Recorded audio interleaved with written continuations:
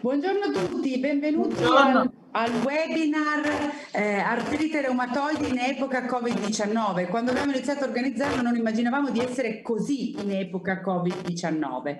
Eh, diciamo che ci siamo resi conto in, questo, in queste ultime settimane che intanto la seconda ondata è arrivata e che intanto nonostante i proclami che tutti abbiamo fatto al termine della prima ondata, ovvero che eh, non si sarebbe ripetuta la situazione di marzo quando eh, abbiamo un po' dimenticato, mh, mm, non parlo dei clinici eh, specificamente destinati alle singole patologie, ma in generale come sistema abbiamo un po' dimenticato eh, gli ammalati cronici, in realtà sta di nuovo accadendo che eh, riusciamo a gestire con fatica la cronicità, ma riusciamo a gestire con fatica anche l'urgenza, perché anche le persone che si ammalano, che scoprono di avere un tumore in questo periodo o che necessitano di interventi chirurgici per un tumore in questo periodo, fanno fatica a vedersi curati in maniera adeguata e con i tempi necessari. Allora, intanto ringrazio tutti i partecipanti.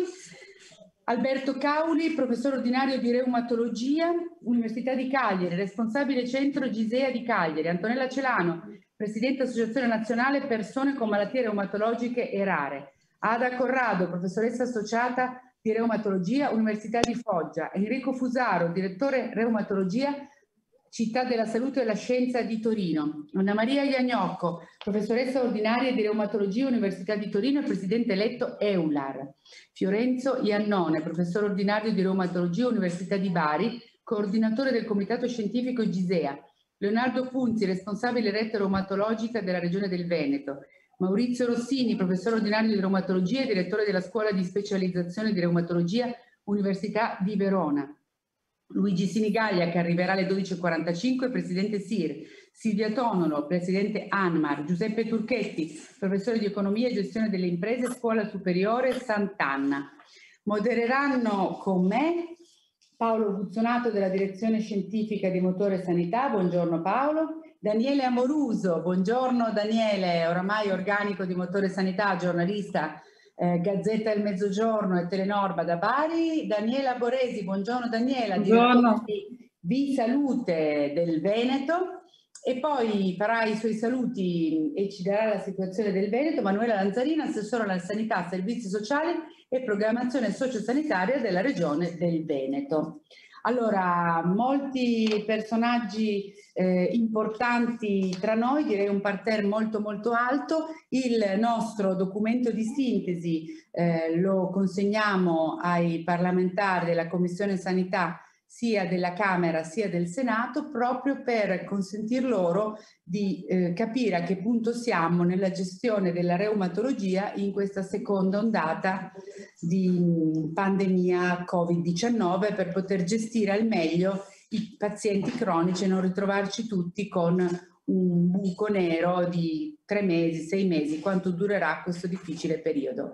Paolo Guzzonato, a te per l'introduzione di scenario. Sì, grazie Giulia, saluto tutti gli amici presenti, amici con cui abbiamo anche condiviso un, uh, percorso fatto in uh, diverse regioni, il Piemonte, la Lombardia, la Puglia e il Veneto, eh, per appunto andare a valutare come eh, facendo focus sull'artrite reumatoide, la patologia più importante, invalidante tra le malattie reumatiche, com'è la situazione ehm, organizzativa eh, attraverso le reti. Queste sono regioni che hanno strutturato eh, delle reti, eh, la Lombardia probabilmente non ancora, ma Piemonte, Puglia e Veneto sono un po' le più rappresentative da questo punto di vista. Eh, quindi io farò come al solito una breve analisi di impatto dell'artrite reumatoide nelle regioni mh, mm, e l'impatto epidemiologico sapete che è importante tra le malattie croniche, tanto che appunto questa è una patologia che rientra nel piano nazionale delle cronicità, eh, ha una morbilità che è inferiore solo alle malattie cardiovascolari, secondo i dati dell'OMS, e genera il 27% delle pensioni di invalidità. Eh, I malati in Italia sono circa 300.000 eh, purtroppo coinvolge persone giovani tra i 40 e i 60 anni, riducendo l'aspettativa di vita da 3 a 10 anni, eh, sempre considerando però che la qualità di vita grazie alle recenti terapie è nettamente migliorata. I costi sono costi, eh, per quanto questo dato risalga a qualche anno fa, probabilmente si sono ridotti perché lì c'era un'incidenza dei farmaci biologici eh, elevata, è di 13.000, eh, oltre 13.000 euro a paziente e comunque con un costo di circa 3 miliardi e 3 all'anno eh, per, per, la sanità. Eh, negli ultimi 15 anni appunto le innovazioni farmacologiche hanno fatto in modo di cambiare la vita delle persone malate, ma questo richiede anche un rinnovamento continuo eh, dal punto di vista del modello organizzativo e modello organizzativo che si deve sempre più integrare tra ospedale e territorio. Covid ci ha insegnato molto da questo punto di vista. Andiamo pure avanti. Eh, questa è una malattia fortemente impattante sulla vita delle persone. Eh, questa indagine della Rheumatology Patient Foundation eh, riferisce che il 68% dei malati non aveva neanche un giorno al mese senza dolore e tre quarti di loro purtroppo eh, questo dolore tipico della rigidità articolare mattutina continua, solo il 25% migliora nelle ore successive al risveglio.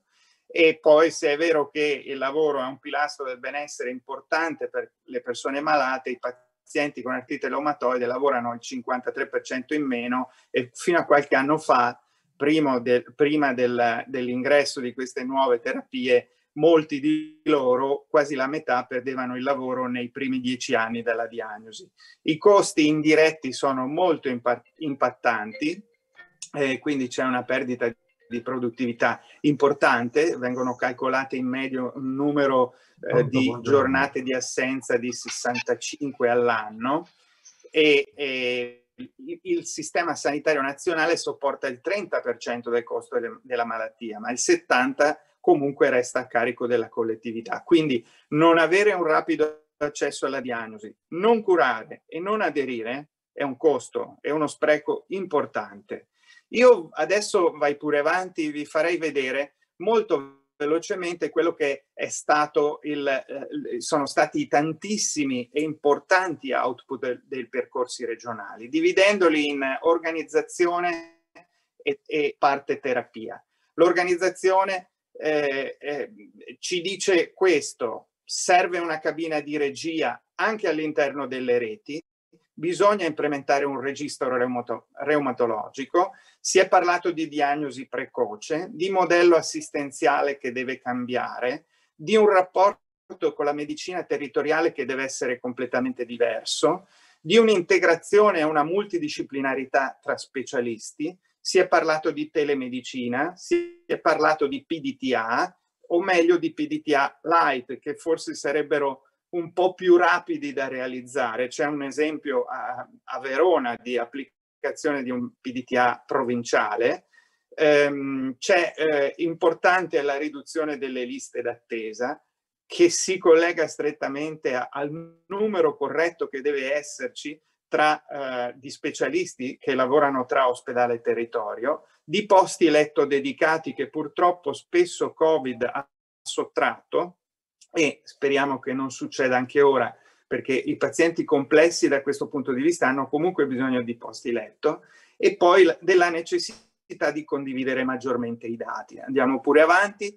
Poi si è parlato di innovazione terapeutica e, e quindi si è parlato di terapie orali eh, che sono state introdotte qualche anno fa. Si è parlato di biosimilari che sono un motore importantissimo di sostenibilità eh, si è parlato di eh, aderenza alla terapia, si è parlato di misure di valore, eh, si è parlato di come implementare l'aderenza, eh, si è parlato di come formare la medicina di famiglia e eh, di come implementare la collaborazione tra specialisti, visto che questi sono pazienti che hanno eh, patologie concomitanti e fra l'altro purtroppo anche un rischio cardiovascolare molto aumentato.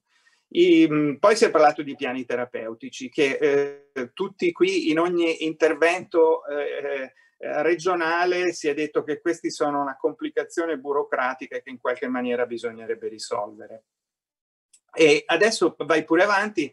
Io tra, queste, tra tutti questi spunti eh, direi ho estrapolato alcune ehm, cose su, cui discutere che riguardano l'innovazione organizzativa eh, ehm, e l'innovazione terapeutica.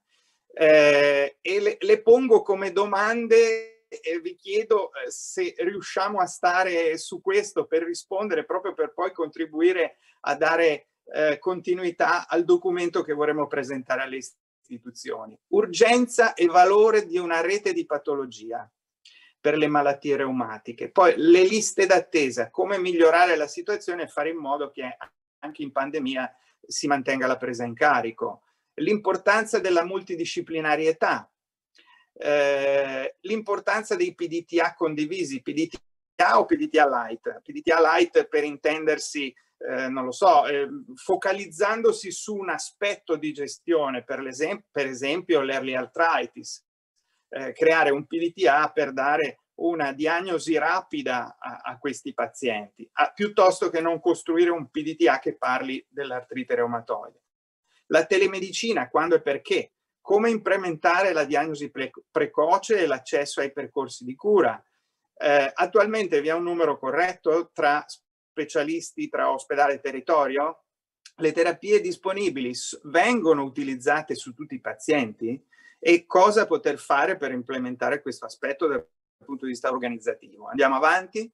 E ancora l'innovazione terapeutica. Il 40% dei 300.000 pazienti non segue, e questi sono dati ufficiali, non ha aderenza alla terapia. Ma l'aderenza alla terapia è fondamentale in una patologia con decorso così invalidante. Cosa fare per implementarla? Cosa fare per fare un buon monitoraggio dell'aderenza? Quale riorganizzazione è necessaria nel, co nel Covid? Purtroppo non è più un dopo Covid.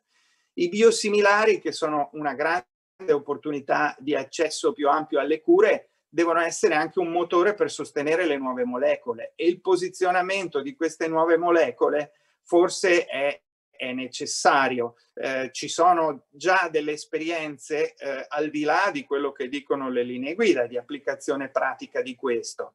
Può in questo contesto il, medico di medicina generale eh, avere un ruolo diverso come sta accadendo nella fibrillazione atriale non valvolare nel diabete dove ha accesso ai, ai piani terapeutici e poi i piani terapeutici rappresentano un inutile aggravio burocratico, come superare questo problema? Io lascerei queste domande a voi per la discussione. Grazie mille Paolo, grazie, mi sembra un'introduzione di scenario estremamente appropriata. Allora io ehm, chiederei, prima di dare la parola a Giuseppe Turchetti per la sua introduzione sulla sostenibilità economica del sistema nell'ambito della reumatologia, chiedere a Daniele Daniele, Daniela Boresi del Veneto Daniele Boresi della Puglia di manifestarsi. Metti il microfono Daniela. Buongiorno, intanto mi manifesto. Io. Mi sentite? Sì, ti sentiamo benissimo. Perfetto, mi manifesto io anche perché ho una giornata un po' concitata. Il Veneto è è, in fascia gialla, ma stanno crescendo un po' i contagi, quindi siamo un, po' in agitazione. E, le domande di Paolo Guzzonato sono tante, tutte, tutte pertinentissime e tutte meritano una, un approfondimento. Quello che volevo e che a me interessa molto in questo momento e di cui mi piacerebbe sapere soprattutto dal professor Rossini e dal professor Punzi, è in un momento in cui si chiede alla struttura sanitaria di fare un attimo un passo indietro e di fermare tutte quelle che sono le attività non urgenti, perché il Covid sta eh, purtroppo eh, assorbendo molte risorse, molte più forse di quelle che erano previste, ecco come pensano di organizzarsi, perché questa credo sia la domanda centrale, visto che stiamo parlando di artrite reumatoide in epoca post-Covid, che poi post-Covid, come dicevi giustamente Giulia, proprio non è. Ed è anche una cosa di cui i cittadini hanno molta paura, perché certo. se guardiamo i social questa mattina, la paura più grande è come ci curano, ci continuano a curare, ci abbandonano, è vero che non potremo più, è vero che non potremo più. Siccome non è vero poi tutto questo, che c'è un abbandono eh, così totale, ma c'è stata una, diciamo, uno scaglionamento e una, una presa in carico in modo diverso. Vorrei sentire dai due professori come vivono questa realtà, anche se vedo la dottoressa Tonolo che fa no con la testa e forse un po' di ragione ce l'ha.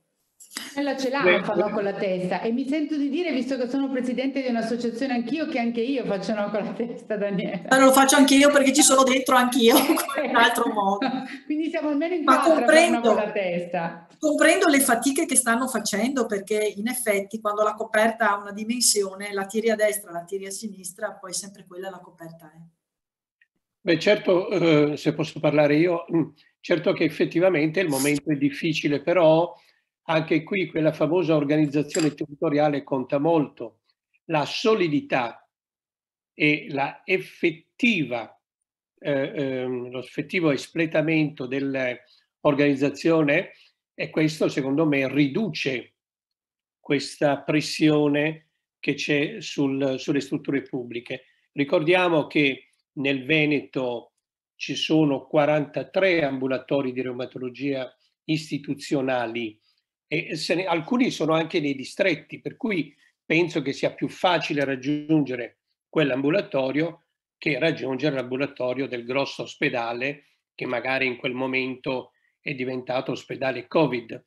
E i reumatologi, sappiamo bene, in alcuni ospedali stanno, sono stati eh, ehm, messi eh, a lavorare nei, nel, su pazienti Covid. Per cui Secondo me è proprio questo che conta, l'organizzazione territoriale per cercare di ridurre queste, queste situazioni.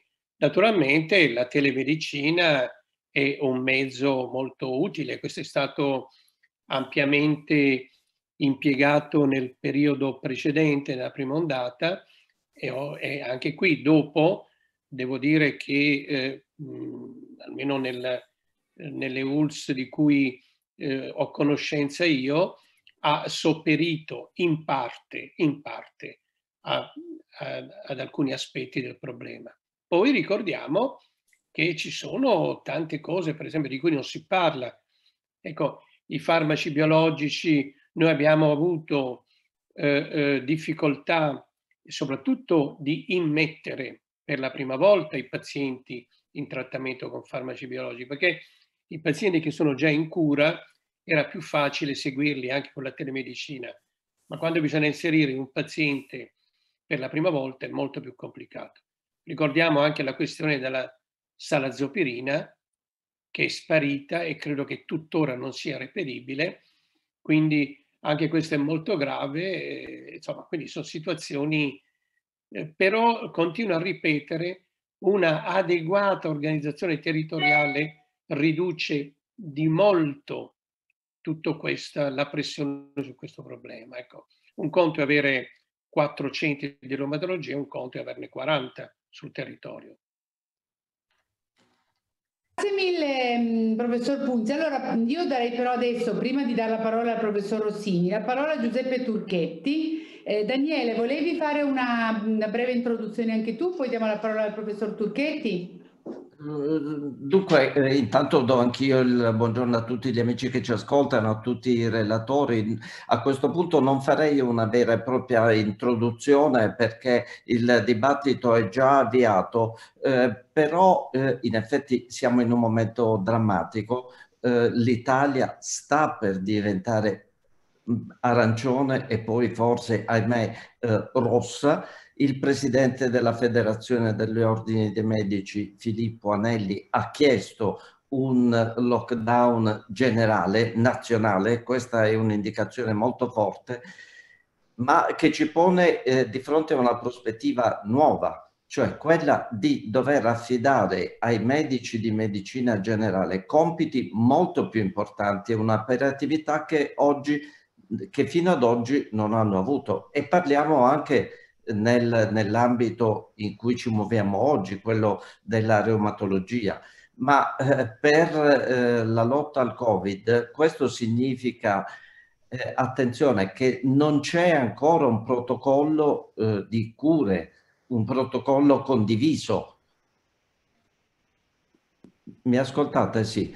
Eh, non c'è ancora un protocollo eh, di cure, un, un, protocollo terapeutico, indicazioni chiare che dobbiamo dare ai medici eh, di base e per quanto e, e gli strumenti naturalmente da dare a loro per poter fare i tamponi rapidi e per poter seguire gli ammalati cronici che non eh, avranno un facile accesso agli ambulatori ospedalieri e, e, e, bisogna sopperire immediatamente a questa carenza di cure. Forse è il momento di dare ai medici di base intanto gli strumenti di formazione per poter gestire ammalati eh, speciali come quelli eh, come le persone ammalate di artrite eh, reumatoide, ma anche indicazioni chiare.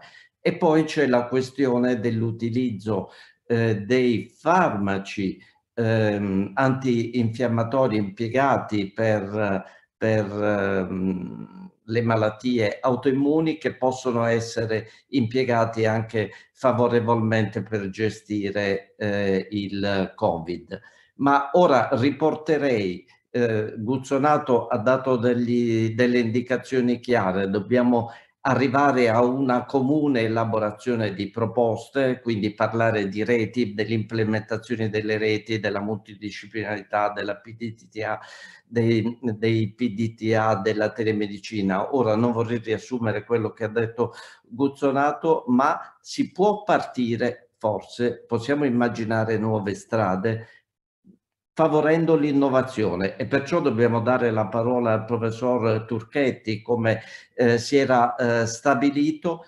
perché eh, introdurre l'innovazione può eh, dare eh, poi forse quella spinta eh, decisiva, una spinta propulsiva e, che è, è necessaria. In questo momento di crisi, per fortuna, il PIL della ricerca è fortemente in crescita e l'ancora di salvezza per la gestione delle malattie croniche ad alto impatto assistenziale.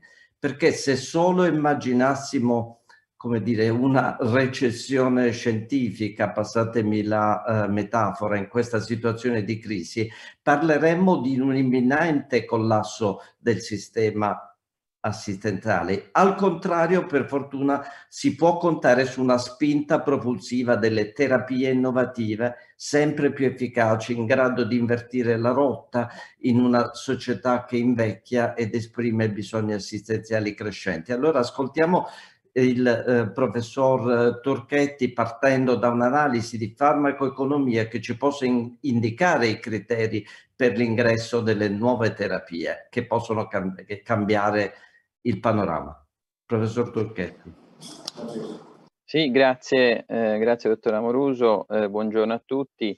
Eh, diceva Giulia questo rapporto fra eh, sanità, innovazione e sostenibilità da un punto di vista anche economico. Questo, come sapete molto bene, è un tema, è un tema rilevante, un tema che il nostro paese come i più grandi paesi del mondo occidentale si trova a, eh, a, ad affrontare e, e, e, i motivi che sono alla base diciamo di questo della preoccupazione eh, che i governi hanno in merito appunto alla sostenibilità del sistema sono molti eh, eh questi motivi, fra questi c'è certamente il tema dell'innovazione che come sappiamo molto bene, porta con sé moltissimi benefici da un punto di vista diagnostico, da un punto di vista terapeutico, eh, però appunto eh, ha anche un impatto in termini di spesa, non tanto perché la singola innovazione eh, presa singolarmente vada ad aumentare il costo nella gestione di una patologia, in molti casi non è così, eh, in particolare se si adotta una prospettiva più ampia, andando a valutare non solo i costi relativi alla terapia, ma si vanno a valutare eh, si va a valutare l'impatto della innovazione eh, su altre voci di costo eh, diretto sanitario o dei costi indiretti, come eh, richiamava prima Paolo Guzzonato, eh, ma per il fatto che eh, grazie a queste innovazioni, per fortuna, molte problematiche vengono gestite meglio, la prognosi di molte malattie migliora e migliora significativamente, però appunto ci trasforma tutti inevitabilmente in buona parte dei casi in pazienti cronici, quindi eh, bisognosi di monitoraggio continuo, bisognosi di terapia continua. Quindi in aggregato la spesa sanitaria cresce e crescerà. Il problema, come in altre occasioni abbiamo detto, è se non, non cresce eh, questo nostro maledettissimo PIL e come non crescerà quest'anno, come non crescerà l'anno prossimo, come negli ultimi dieci anni, dalla crisi del 2008 in poi, in molti anni non è cresciuto. Questo è il problema, è il problema vero.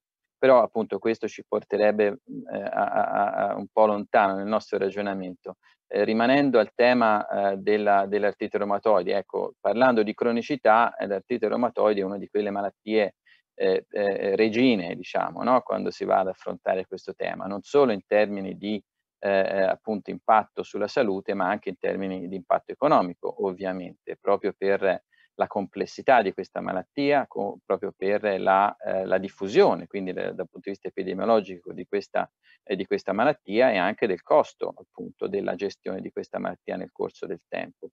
Molte, dei, molte dimensioni del costo, come ricordava Paolo in effetti poco fa, in realtà prende la, la, la, definizione di costo diretto di tipo non sanitario, quindi non è costo strettamente sanitario, eh, e di costo indiretto, quindi di, eh, di impatto sull'attività lavorativa, di impatto sulla, sulla vita delle, delle, famiglie, dei, dei pazienti eh, e, e, molti di questi costi in realtà sono sostenuti dalle famiglie, sono sostenuti dai pazienti, sono sostenuti dal sistema economico e non tanto dal, eh, strettamente dal bilancio della, eh, della sanità all'interno del del, del nostro paese o delle nostre regioni.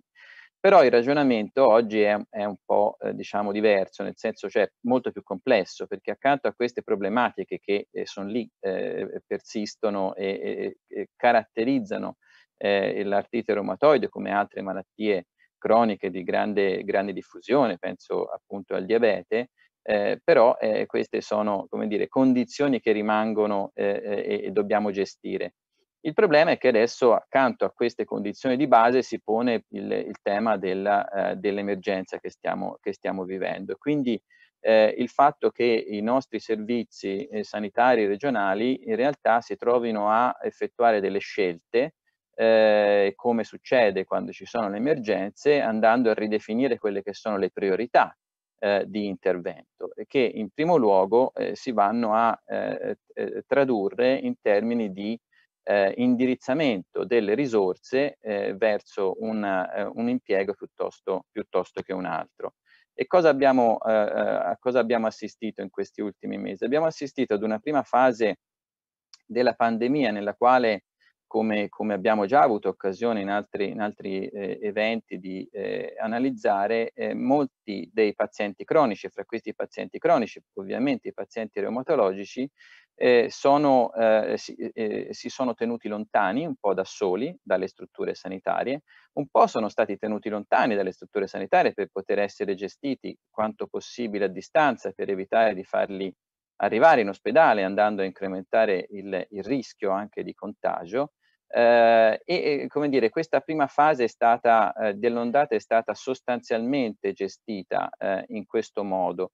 Poi c'è stata una fase in cui eh, i pazienti sono tornati ovviamente a, in ospedale eh, e, e, quello che sarà il costo diciamo della, in termini di salute di, di, di questo eh, monitoraggio ridotto della prima fase lo stanno vedendo, i clinici lo stanno vedendo eh, i pazienti in questo momento e poi abbiamo questa, questa ulteriore fase che ha un'altra caratteristica ancora, eh, eh, è una caratteristica eh, diciamo eh, se possibile eh, certamente eh, anche peggiore della prima perché oltre alla gestione dell'emergenza dell Covid oggi i pazienti giustamente non si tengono più lontani dalle strutture, oggi i pazienti vanno in ospedale perché si sono resi conto che il rischio della progressione della malattia, il rischio di una gestione non compensata della malattia è, è maggiore del rischio di poter andare in ospedale a contrarre, eh, a, eh, eh, eh contrarre il, il, virus.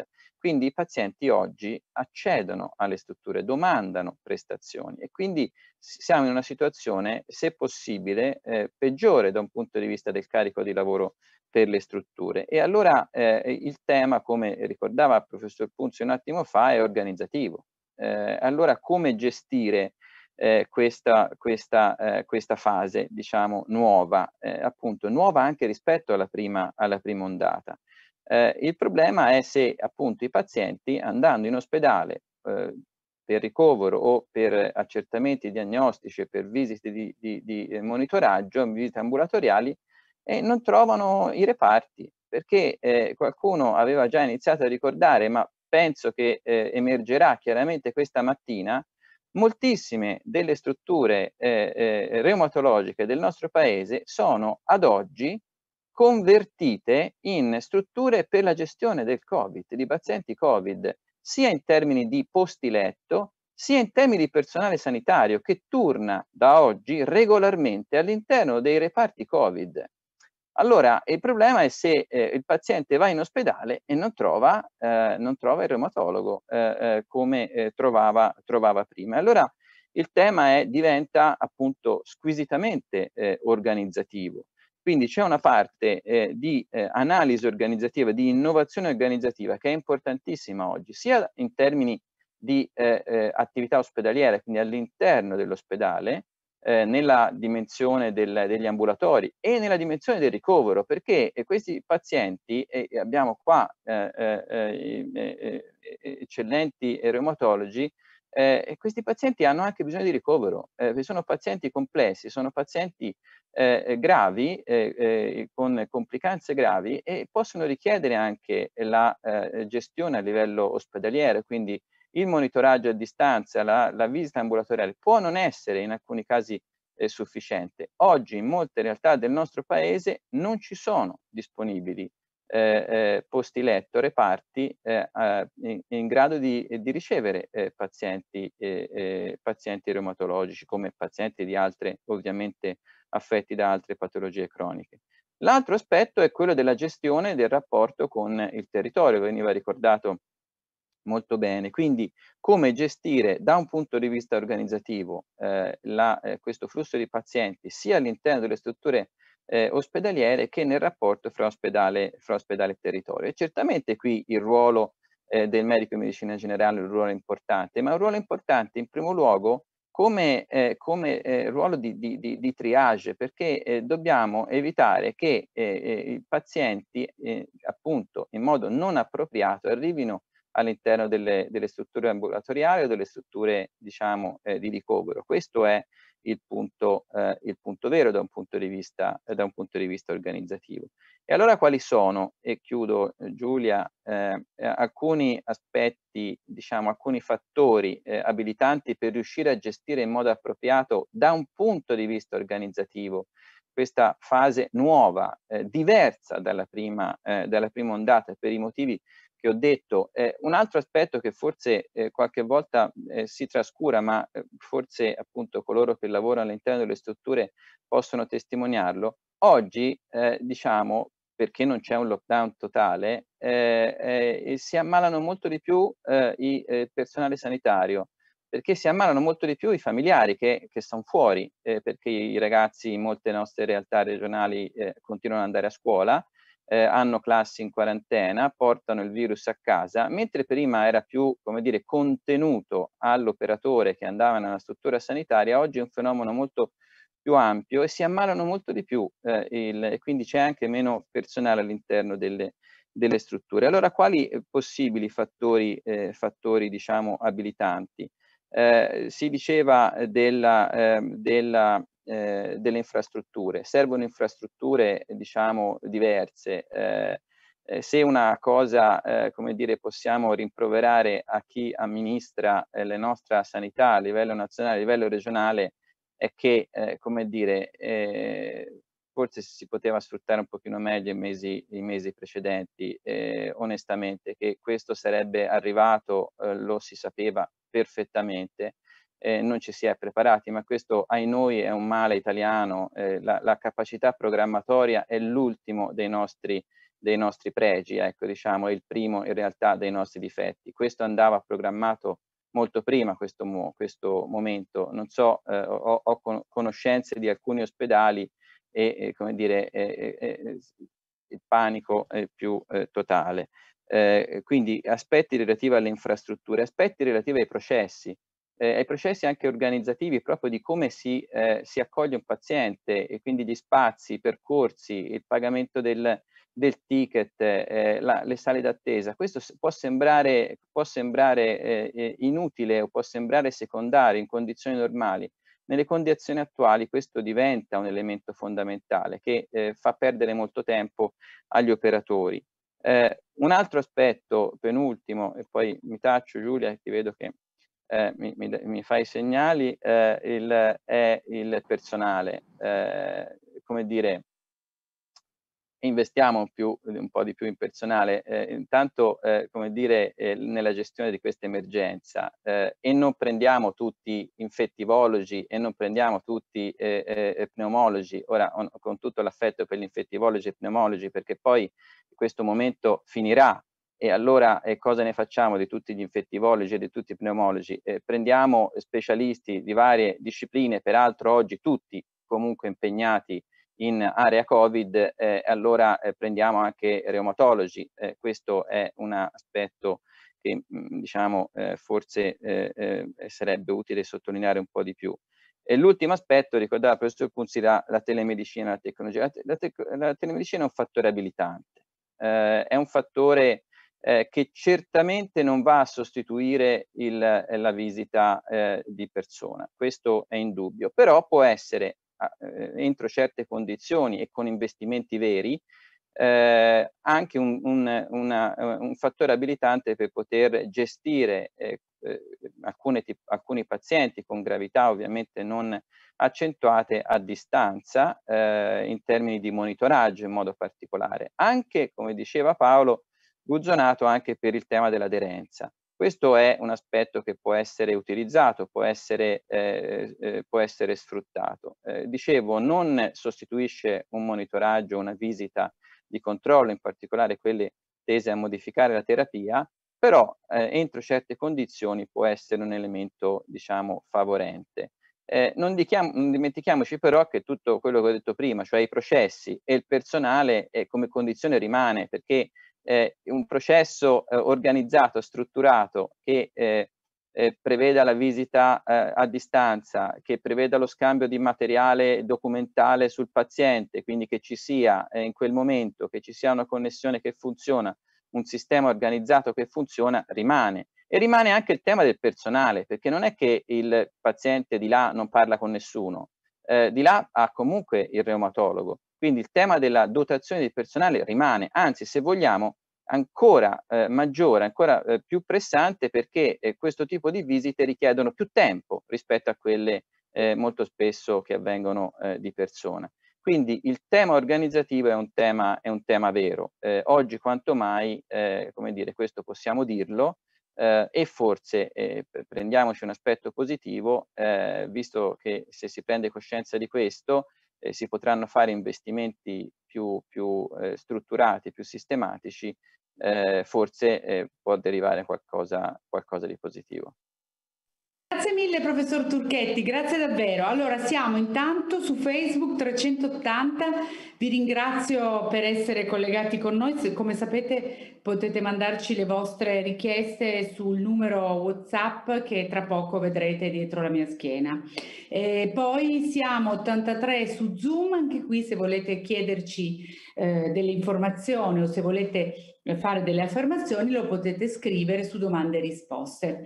Allora io passerei eh, dal, mm, mm, prima di passare la parola al professor Punzi e eh, al professor Rossini del Veneto, Anna Maria Iagnocco che ha anche delle slide e che eh, a Torino e che è una delle regioni in questo momento con le maggiori difficoltà sul fronte Covid. L'abbiamo tutti visto ieri al telegiornale che all'ospedale San Luigi di Orbassano i pazienti sono addirittura messi all'interno della cappella e nella, e nella mensa aziendale. Quindi insomma la situazione è piuttosto complessa e quindi volevo chiedere, oltre alla presentazione della professoressa Iagnocco, come vi state regolando con il Covid?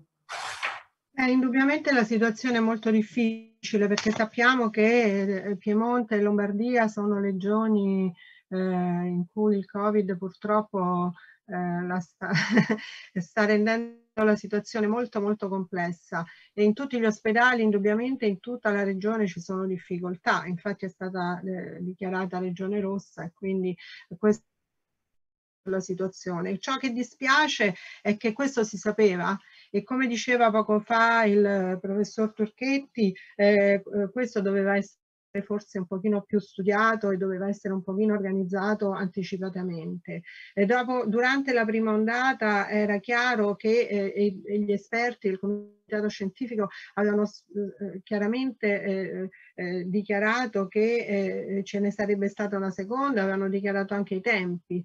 Ora il fatto è che l'Italia si è sentita un pochino sollevata dal fatto che dopo l'estate a settembre altre nazioni europee erano già alle prese con la seconda ondata, qui da noi fortunatamente la cosa si era ancora eh, contenuta, ma poi c'è stata l'esplosione.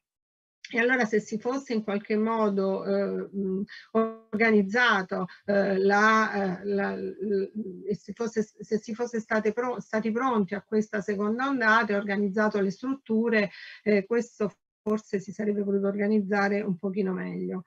Ehm, in termini di eh, problematiche legate alla malattia, l'artrite reumatoide, tema di questa eh, di questo meeting di oggi, eh, indubbiamente eh, il, il, problema è molto molto importante. Eh, è molto importante perché i pazienti che nella prima ondata eh, sono stati mm, seguiti eh, con la telemedicina, con diciamo con in, in, tutti quanti in qualche modo abbiamo cercato di supportarli e mettendo eh, chiaro in, e, e, sottolineando in maniera chiara che eh, nella prima ondata era difficile venire in ospedale, c'erano altre priorità, però non è più accettabile oggi eh, che dopo così tanti mesi eh, in cui eh, i pazienti non vedono soprattutto un futuro, perché nella prima andata ci si diceva sempre, beh con l'estate eravamo a marzo, dopo due o tre mesi abbiate pazienza, insomma per giugno le cose verosimilmente come tutti questi tipi di virus, forse ci sarà un miglioramento e poi c'era stato il lockdown, questo è quello che ha contribuito essenzialmente alla riduzione dei casi, per cui eh, ovviamente i pazienti, eh, eh anche noi siamo stati tutti molto diciamo, ottimisti sulla possibilità di poterli rivedere, ma adesso senza un futuro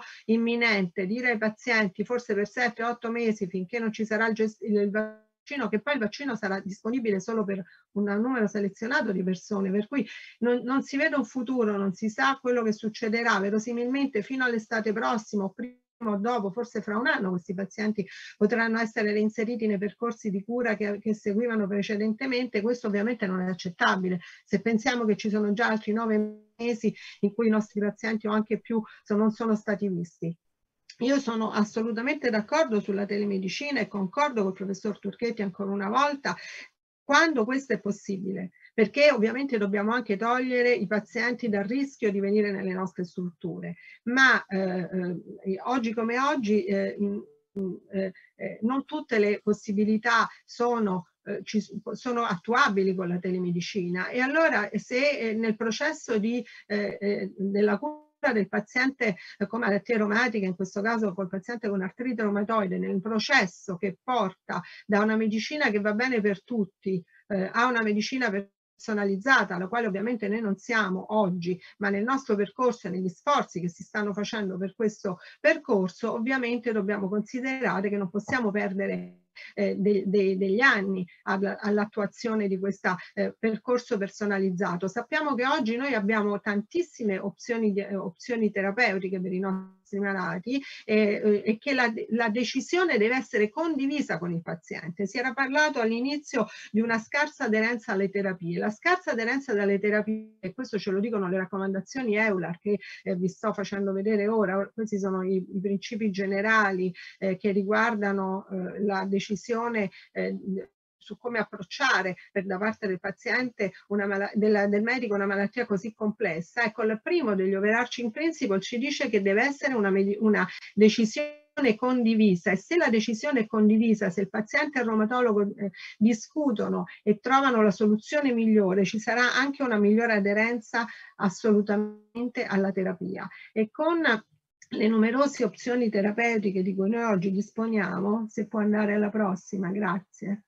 E con eh, le diverse possibilità eh, di eh, approccio terapeutico, noi dobbiamo poter decidere insieme al paziente quali sono le strategie terapeutiche migliori perché la malattia è una malattia eterogenea, come ci dicono le raccomandazioni appunto, eh, che necessita, come diceva il professor Turchetti, chiaramente di costi eh, elevatissimi, sia dell'individuo sia della, della, società e eh, ovviamente il, il, management di questa malattia è una malattia complessa. Indubbiamente il medico di medicina generale ha un ruolo fondamentale fondamentale, in che senso? Ha un ruolo fondamentale innanzitutto per, per eh, i pazienti con le forme precoci di malattia, per individuare quei casi di malattia precoce che poi devono essere indirizzati allo specialista reumatologo che ricordo è lo specialista che deve curare questi pazienti.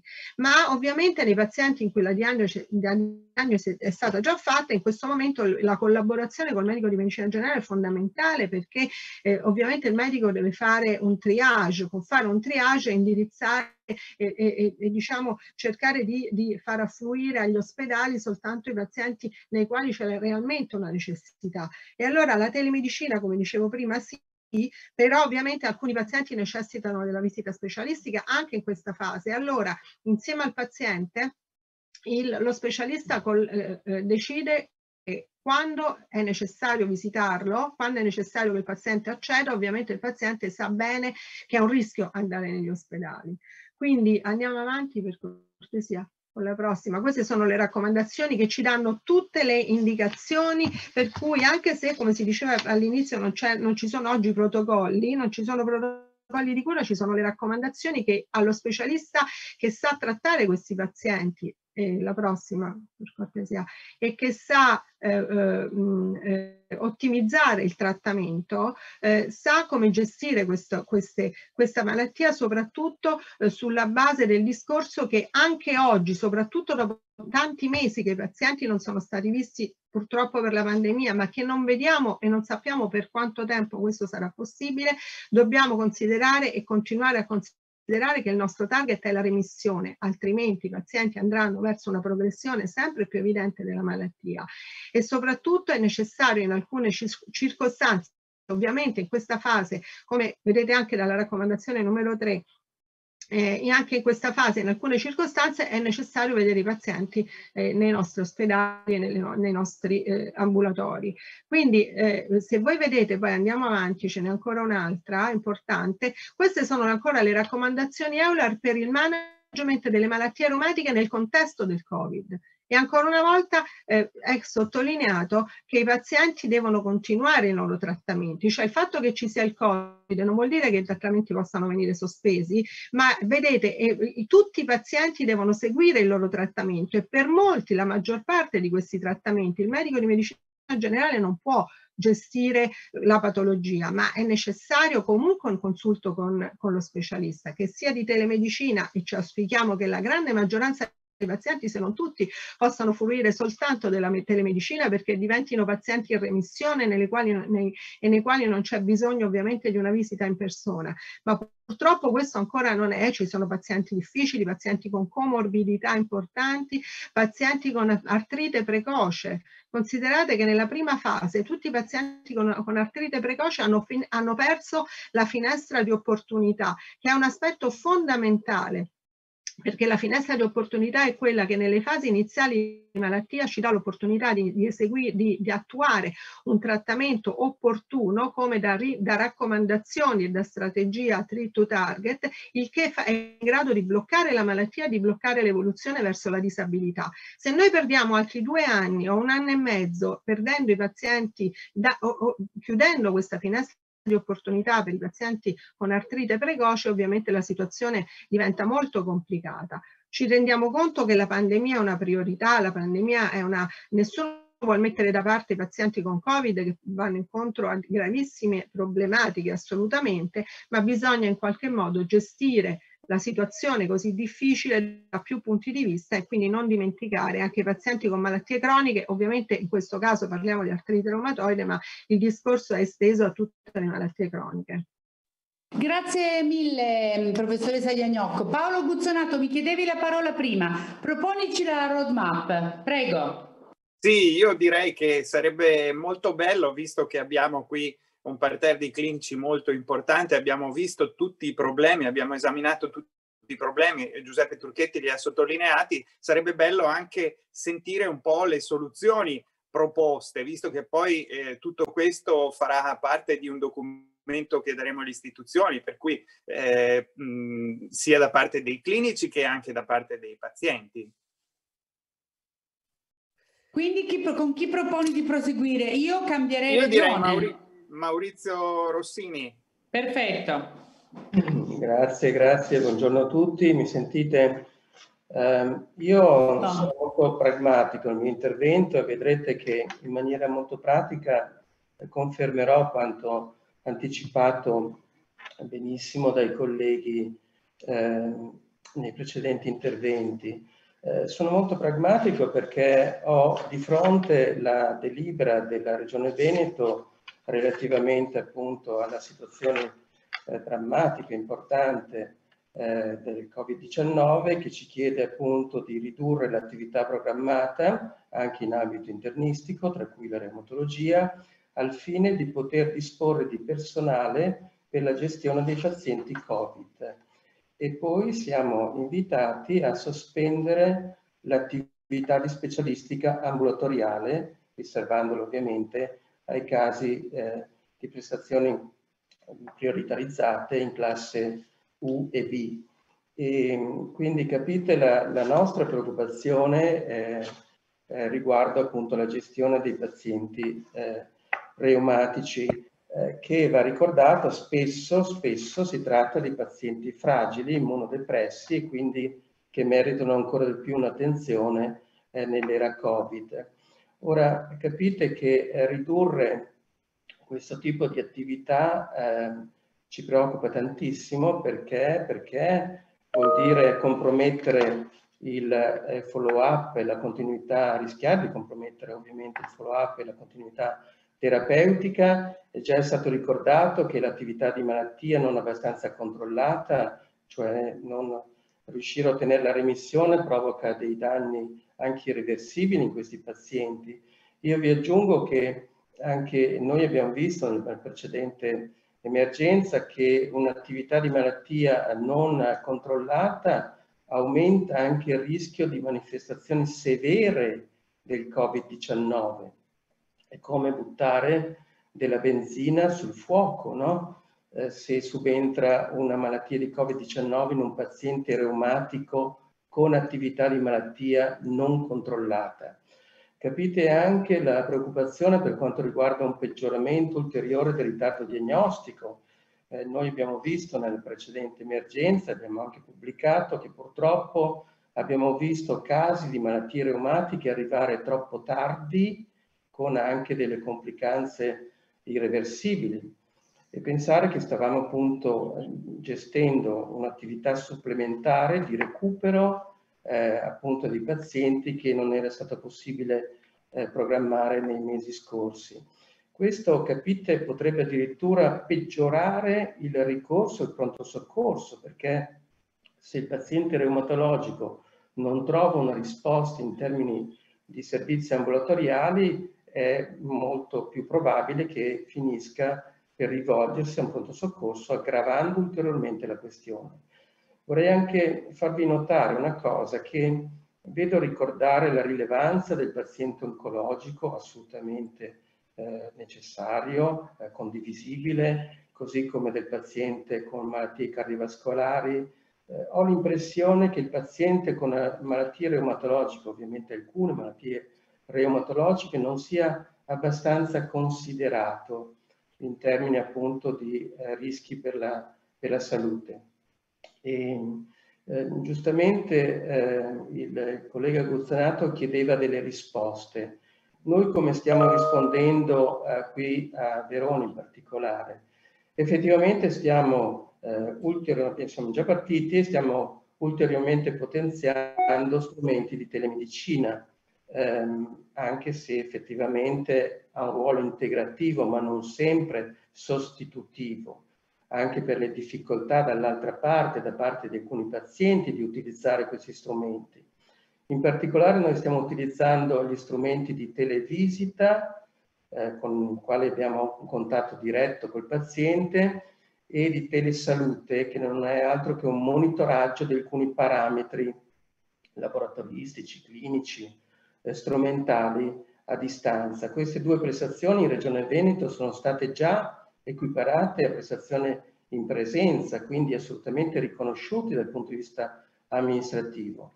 La cosa che secondo noi eh, manca ancora e sulla quale stiamo investendo risorse, idee, e che ritengo sia la risposta francamente migliore in termini di strumenti telemedicina, è il teleconsulto.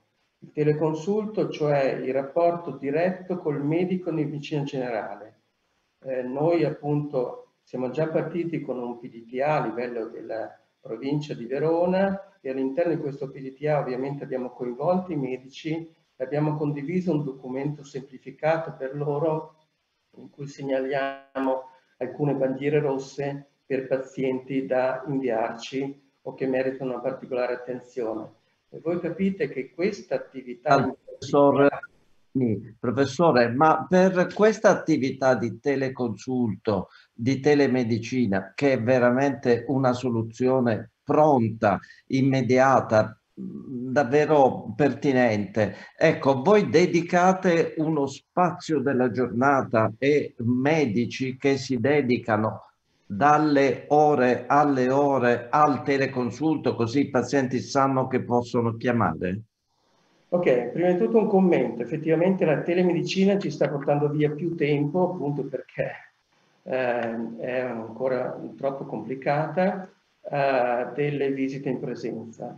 Eh, chiusa la parentesi, sì, stiamo ovviamente in maniera per ora eh, limitata con un gruppo di medici eh, dedicando degli, dei tempi e degli spazi dedicati a loro in cui possono contattarci. Perché crediamo davvero che il teleconsulto in questo momento consenta, uno, sicuramente di eh, dare risposte eh, immediate e di ridurre il rischio del ritardo diagnostico. Due, eh, sicuramente può contribuire a ridurre anche le liste d'attesa. Non c'è dubbio che la condivisione dell'afferenza, della eh, della razionalità dell'afferenza dell'accesso ai centri specialistici consentirà di ridurre le liste d'attesa. Tre, stiamo ovviamente anche eh, cercando di fare diagnosi in collaborazione con il medico in generale a distanza, cosa che raramente puoi fare col paziente il paziente in telemedicina di solito lo gestisci per i controlli perché lo conosci già, ma è assolutamente dal punto di vista medico-legale anche molto incerta la possibilità di poter fare prime diagnosi e addirittura stiamo pensando anche, sperando ovviamente eh, nella collaborazione, di eh, pensare di avviare alcune terapie. Alcune terapie potrebbero essere avviate direttamente dal medico di medicina generale, ovviamente con il consenso dello specialista e questo ovviamente riguarda in particolare alcune terapie per OS innovative gestibili eh, sul territorio. Eh, quindi capite che eh, assolutamente eh, la telemedicina è eh, in questo momento la risposta eh, più credibile e anche l'unica che possiamo pensare di potenziare. Infine un commento sul sulla questione del personale. Effettivamente stiamo perdendo personale perché richiesto in area Covid e eh, credo che sia assolutamente condivisibile il suggerimento del professor Torchetti, eh, cosa che ho fatto anch'io a livello di Regione Veneto, di pensare all'assunzione anche di reumatologi. In questo momento hanno giustamente pescato anche dalle graduatorie una volta esaurite quelle dei pneumologi degli infettivologi, dalla medicina interna. Io credo che si debba, si possa pescare anche dalla graduatoria eh, del, della reumatologia, perché? Perché lì ci sono sicuramente delle risorse, anche giovani, immaginate, che sanno gestire molti dei farmaci attualmente impiegati nella gestione del Covid-19 in ambito, come sapete, eh, off-label eh, reumatologico e assolutamente vi ricordo che molte delle manifestazioni sistemiche della malattia di Covid-19 assomigliano tantissimo alle manifestazioni sistemiche di molte malattie reumatologiche, autoimmuni ed autoinfiammatorie. Grazie. Daniele Caro, sta per collegarsi l'assessore Lanzarin, ma eh, prima che si colleghi l'assessore Lanzarin volevo fare una puntata proprio in Puglia. Prego, a te. Intanto io vorrei sal eh, salutare il professor Iannone che eh, ci ha eh, raggiunto. tutti.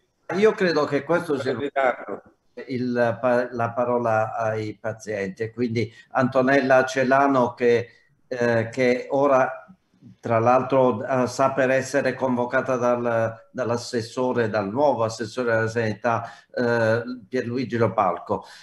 Antonella, eh, intanto questa grave preoccupazione per la sospensione delle cure, cioè per il pericolo di sospensione delle cure, per la riduzione delle terapie precoci. Stavamo andando così bene con l'Harry Arthritis e invece tutti questi progetti si stopperanno, ecco. E la telemedicina, siete d'accordo? Volete delle garanzie di accesso a questi teleconsulti? Buongiorno a tutti, grazie Daniele per questa, per questa domanda. Beh, intanto una, una premessa. Eh, lo scenario, tutto ciò che abbiamo ascoltato dall'inizio fino ad ora è... Grazie veramente... volevo solo, Antonella, volevo solo salutare Manuela Lanzarin. Buongiorno Manuela Lanzarin. Grazie Buongiorno. per essere con noi. Immagino Buongiorno. che abbia molta fretta, cinque minuti che parla Antonella Celano, così entriamo nell'argomento. Intanto la saluto con piacere perché è la prima volta che la vedo dopo la nuova nomina, quindi intanto complimenti. Antonella Celano. Grazie. Grazie.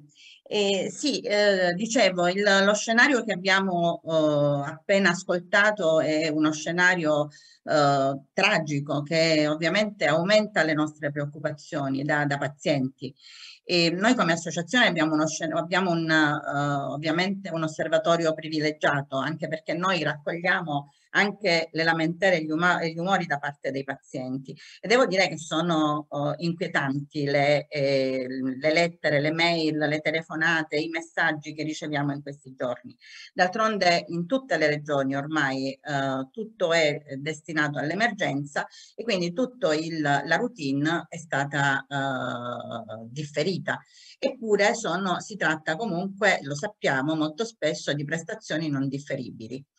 E quindi il benvenga la telemedicina, ma non dimentichiamo, noi siamo assolutamente propensi a mettere in campo tutto ciò che abbiamo oh, acquisito e quindi anche l'uso di strumenti che ci aiutino a, a, uh, ad accedere ad un uh, ad una consulenza, ad un, uh, ad un controllo, ad un follow up uh, via, via web grazie alla telemedicina. D'altronde abbiamo sempre adoperato anche dei mezzi meno convenzionali. Noi abbiamo uh, adoperato anche WhatsApp per sentirci con il medico, abbiamo inviato anche in periodi non sospetti il, uh, le nostre indagini, i nostri referti via WhatsApp, però non dimentichiamo la mancata alfabetizzazione da parte dei pazienti.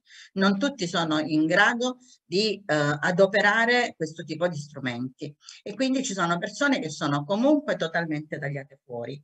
Io voglio citare un, uh, un dato. Noi abbiamo svolto per la nostra giornata mondiale eh, che si celebra il 12 ottobre, una indagine eh, Appmar con We Research, un'agenzia eh, un che si dedica a ricerche di mercato e, mh, e, abbiamo stabilito che abbiamo avuto un dato inquietante eh, nel primo periodo della pandemia noi abbiamo avuto un calo di diagnosi del 40%.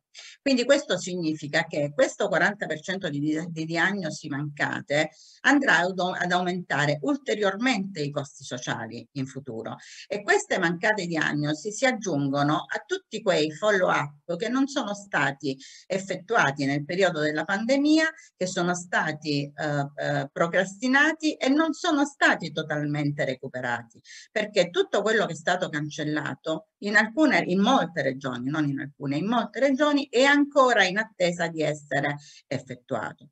Quindi eh, questo ovviamente ci dà un futuro, un'idea del futuro che per i pazienti reumatologici è, mh, mm, è veramente tragico, cioè nel senso che noi abbiamo oh, noi oggi stiamo parlando anche di aderenza, ma l'aderenza è già venuta a mancare perché le persone che molto spesso, le persone che si sono viste eh, un piano terapeutico eh, rinnovato in automatico, non si sono sentite di eh, continuare una terapia perché hanno avuto paura di farlo senza un, uh, un, controllo avuto dal medico, visto che il medico ha sempre eh, sollecitato i pazienti ad essere aderenti, ad essere attenti, eccetera, eccetera, però nel momento in cui non hanno potuto fare una visita di controllo, non hanno potuto vedere il medico, ovviamente abbiamo avuto grosse, grosse grosse difficoltà anche nell'aderenza e queste, eh, questa mancata aderenza continua. Quindi il futuro nella nostra, nella, nell'artrite reumatoide di cui parliamo oggi, ma in tutte le patologie croniche sostanzialmente, perché questi problemi sono trasversali a tutta la cronicità, vedranno uh, vanificare tutte quelle, vanificate tutti, tutti gli sforzi che sono stati fatti fino ad oggi per tenere sotto controllo un paziente, per cercare di tenere la patologia a bada, per, fargli, per permettergli di condurre una vita normale, quindi lavoro, famiglia, relazioni sociali, eccetera, eccetera. Perché tutto questo si ripercuote ovviamente sulla vita delle persone. E noi non parliamo di qualcosa di astratto, noi parliamo di eh, persone che hanno una vita, una famiglia, un lavoro che in questo momento gli sta sfuggendo dalle mani perché il dolore mh, gli impedisce di andare al lavoro. E là abbiamo il problema della fragilità nel mondo del lavoro, è difficilissimo eh, in alcune regioni accedere a quello che è il lavoro, la, la, la certificazione di, lavoro, di lavoratore fragile l'abbiamo visto anche in passato, abbiamo avuto una, uh, un rimpallo tra uh, medico del lavoro e medico aziendale, medico competente, medico di medicina generale su chi dovesse eh, emettere un certificato con il codice V07. Quindi le persone hanno avuto anche questo tipo di difficoltà. Viviamo una situazione che sicuramente è, è un'emergenza ed è talmente eccezionale che forse siamo ancora impreparati, però è pur vero che eh, forse questo nostro rilass rilassarci nel periodo estivo, convinti che tutto fosse ormai sotto controllo, e ha eh, ancora di più acuito il problema. Quindi non mi dilungo, lascio la parola all'assessore, ma Grazie. veramente veramente la situazione è per Grazie, noi Antonella. è tremenda. Guardi, eh, ha fatto un'analisi condivisibile al 100% e purtroppo ha ragione, non è soltanto, non, è soltanto, non sono soltanto le malattie reumatologiche, ma sono tutte le persone che hanno un qualche tipo di cronicità. Pensiamo alle mancate diagnosi per il diabete, che ha ripercussioni nel tempo, ma che comunque fanno malissimo eh, nel tempo e, e hanno numeri pazzeschi. Daniela Boresi, vuoi presentare l'assessore? Grazie. Microfono Daniela. Assolutamente sì, l'assessore Lanzarin, come hai detto tu prima, è stata riconfermata e si è ritrovata a continuare quello che aveva appena lasciato, cioè l'emergenza eh, coronavirus. Ecco, la, la, difficoltà che ha in questo momento, ed è questo appunto che volevo chiedere anche a lei, è quella di garantire l'emergenza senza penalizzare la cronicità, che è uno delle, dei punti forti in cui il Veneto in questo momento sta cercando di portare avanti il suo piano sanitario. Sì, grazie. Intanto buongiorno, ringrazio Motore Sanità per l'invito, la possibilità, ma anche perché chiaramente è importante che anche in questi momenti in cui chiaramente eh, dobbiamo seguire delle regole più ferre, ci sia però comunque continua attenzione, focus sui temi della sanità. È verissimo che oggi purtroppo, e dico purtroppo, siamo tutti concentrati su quella che è l'emergenza di questa seconda ondata che probabilmente, almeno io personalmente, insomma, pensavo che sarebbe stata di una portata minore eh, rispetto invece a quello che stiamo assistendo. Però è altrettanto vero che ci sentiamo più preparati ci sentiamo più preparati, i posti letto, le terapie intensive ci sono, il materiale c'è, eh, sappiamo come anche affrontare il paziente, quindi anche le cure domiciliari, il fatto di trattenere le persone in casa e quindi anche eh, se vogliamo un utilizzo non come nella prima ondata delle terapie intensive, ma l'utilizzo molto delle subintensive. Quindi è chiaro che eh, siamo sicuramente arrivati più preparati però questa preparazione ci ha, non ci ha evitato a un certo punto anche di dover interrompere e sospendere altre attività.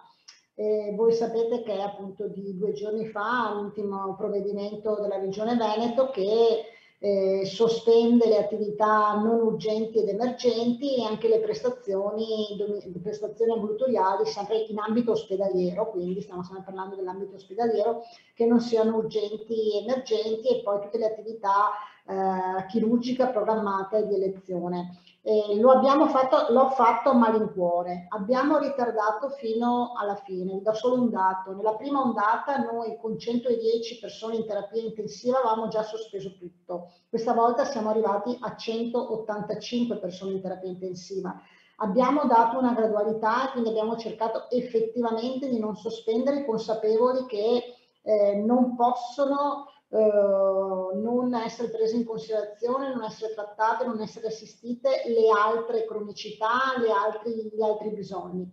Però cosa si, si sta verificando e cosa si, sta, cosa si è verificato? Che nonostante i piani che noi, ripeto, io parlo per il Veneto, abbiamo pronti, il grosso problema è la carenza di personale, il personale che oggi purtroppo non c'è, personale che all'interno delle strutture si è infettato mm, e si sta infettando perché il virus circola in maniera molto molto veloce eh, in maniera molto diffusa e questo ci ha, imposto insomma una scelta, ripeto, a malincuore di questo tipo.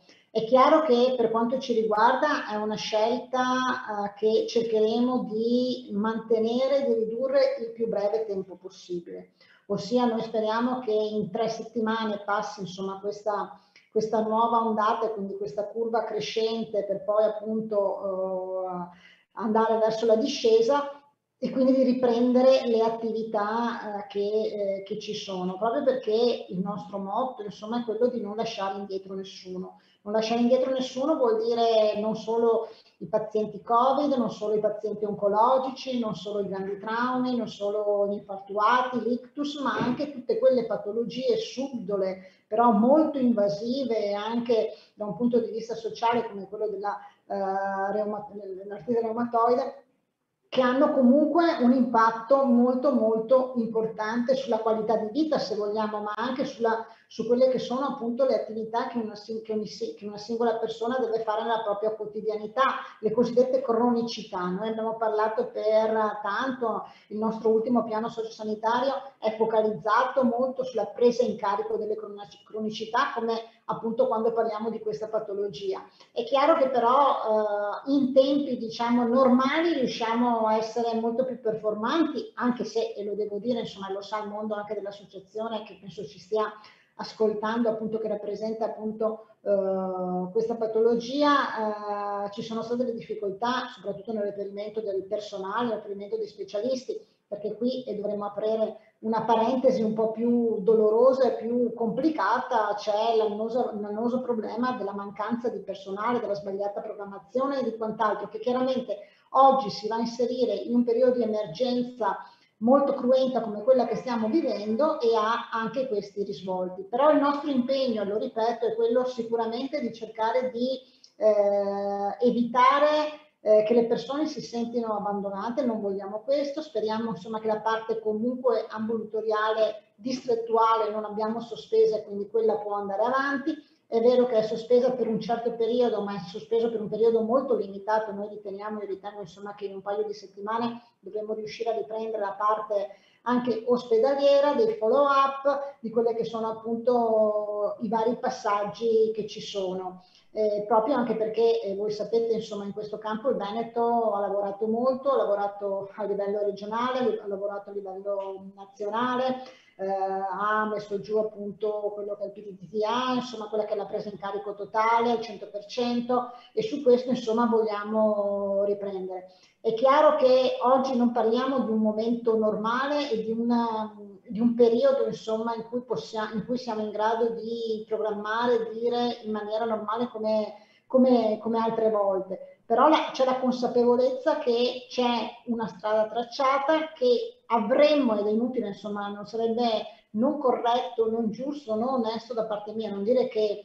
in questo momento insomma ci potrebbero essere dei disservizi, ma io mi auguro che siano disservizi molto molto brevi e legati solo insomma a passare questa nuova curva e questo nuovo picco che noi insomma ipotizziamo nell'arco di dieci giorni per poi riprendere effettivamente le, norm le normalità e le attività. E guardate, io mi auguro una cosa da assessore rinominato alla sanità, che effettivamente insomma siamo nella seconda ondata.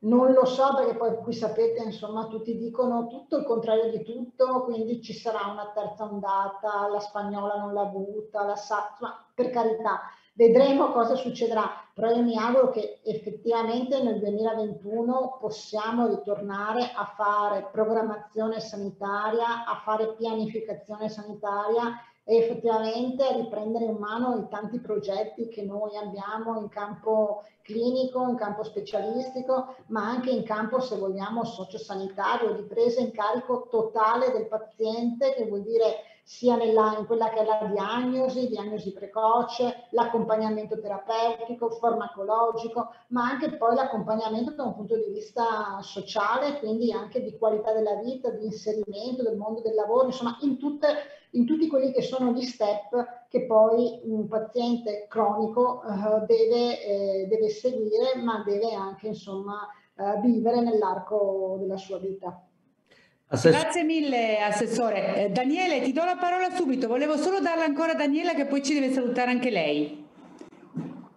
Eh, no, io le, quello che, le, che, volevo dire è che oggi, ad esempio, eh, sui nostri giornali, soprattutto nei giornali veneti, quello che sta facendo la, la, parte del leone sono i cattivi comportamenti della popolazione. Per cui devo dire che anche dal punto di vista di chi amministra si sta trovando di fronte una buccia di banana in casa cioè eh, si fa tanto lavoro per arginare le emergenze, poi basta un weekend di sole, oggi è una giornata splendida, lo vedete attraverso la mia finestra, e la gente esce, si assembra e non mette la mascherina. Sembra banale questo mio appello, però l'assessore l'ha fatto anche oggi attraverso i suoi social e continua a farlo. Se vogliamo garantire non solo l'emergenza, ma anche la cronicità, dobbiamo tutti pensare che è, nelle nostre mani il nostro futuro ed è il futuro di queste categorie, le categorie che hanno bisogno di un intervento d'emergenza, ma anche quelli, come giustamente dicevano i professori prima, hanno bisogno di, una, di, di vedere garantito il loro percorso di cronicità. Daniela, io stavo chiedendo all'assessore, visto che oggi si riunisce la cabina di, di, regia, se si aspetta che il Veneto cambi colore e diventa arancione? Il Veneto ha 50.000 eh, positivi attualmente, più di 50.000 e eh, con una variazione di 3.000 al giorno in più. È preoccupata? Stavo guardando i dati, 53.145, mi diceva 50.000.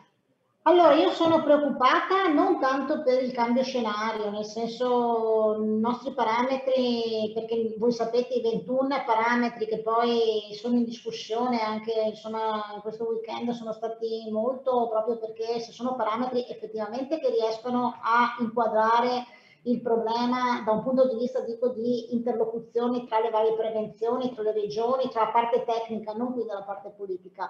Ehm, quindi c'è l'ospedalizzazione, l'occupazione terapia intensiva. Noi siamo la regione con la più bassa indice di occupazione terapia intensiva, mi sembra il 17% rispetto invece alle altre regioni che sono già sopra il 30%, che era un po' l'asticella insomma, che faceva eh, che, che, fa preoccupare, e ce ne sono il 50, il 49, il 45 e anche per quanto riguarda l'occupazione, noi facciamo tanti tamponi, quindi noi riteniamo insomma che abbiamo una situazione che è monitorata eh, è una situazione che non, non ci deve destare insomma, preoccupazione di cambi scenari di questo tipo, poi vedremo la parte tecnica, però è altrettanto vero e mi fa piacere appunto che la dottoressa Boresi abbia fatto questo appello che tutto è molto legato ai nostri comportamenti. E anch'io ho visto questo fine settimana di quelle scene, infatti prima ero in unità di crisi e stavamo ragionando su pensare e parlare con i primi cittadini dei capoluoghi perché non ci possiamo permettere un altro fine settimana come quello che abbiamo visto. Cioè va benissimo il sole, le belle giornate, la voglia di uscire, però devono essere comunque mantenuti i comportamenti corretti, utilizzo mascherina, distanziamento, lavaggio spesso delle mani perché questo può fare la differenza anche nel cambio dei scenari. Grazie mille Assessore Andarin, grazie Daniele. A questo grazie. punto, ciao Daniela, grazie. Io a questo ciao, punto, buon lavoro, buon lavoro a tutti. Grazie, grazie Assessore, ciao Daniela. Cambierei regione e passerei ad Alberto Cauli da Cagliari, che è stato il primo peraltro a collegarsi stamattina, quindi mi sembra corretto rispettare anche un po' le tempistiche. Poi eh, ritorniamo nelle regioni nelle quali siamo già stati. Alberto Cauli, ancora con noi? Speriamo che sia ancora collegato, che non si sia stufato di attendere. Alberto? Allora, nel, mentre, mentre, noi cerchiamo Alberto Cauli, a questo punto... Eh, C'è la dottoressa Corrado che... Proporrei alla... Sì, sì, alla dottoressa Corrado, certo, Ada Corrado. Devi mettere il microfono, Ada. Buongiorno, mi sentite? Sì, Corrado. Sì, buongiorno. Buongiorno. Buongiorno. Abbiamo parlato molto di telemedicina, la, la Foggia, proprio l'azienda eh, universitaria ospedaliera, ha lanciato un programma di telemedicina. Esatto. Quindi questo potrebbe entrare in campo? Sì, io voglio premettere che la reumatologia universitaria di Foggia è impegnata in prima linea nel Covid. Siamo uno dei reparti che è stato trasformato completamente in Covid. Per cui, mi sentite? Sì, bene, bene. Ok, sì, sì. per cui devo dire che la, insomma, l'azienda ci ha fornito la possibilità di utilizzare una piattaforma per poter seguire i pazienti che ci è servita, devo dire, soprattutto nella prima ondata, quando insomma erano state bloccate le, le prestazioni eh, non urgenti.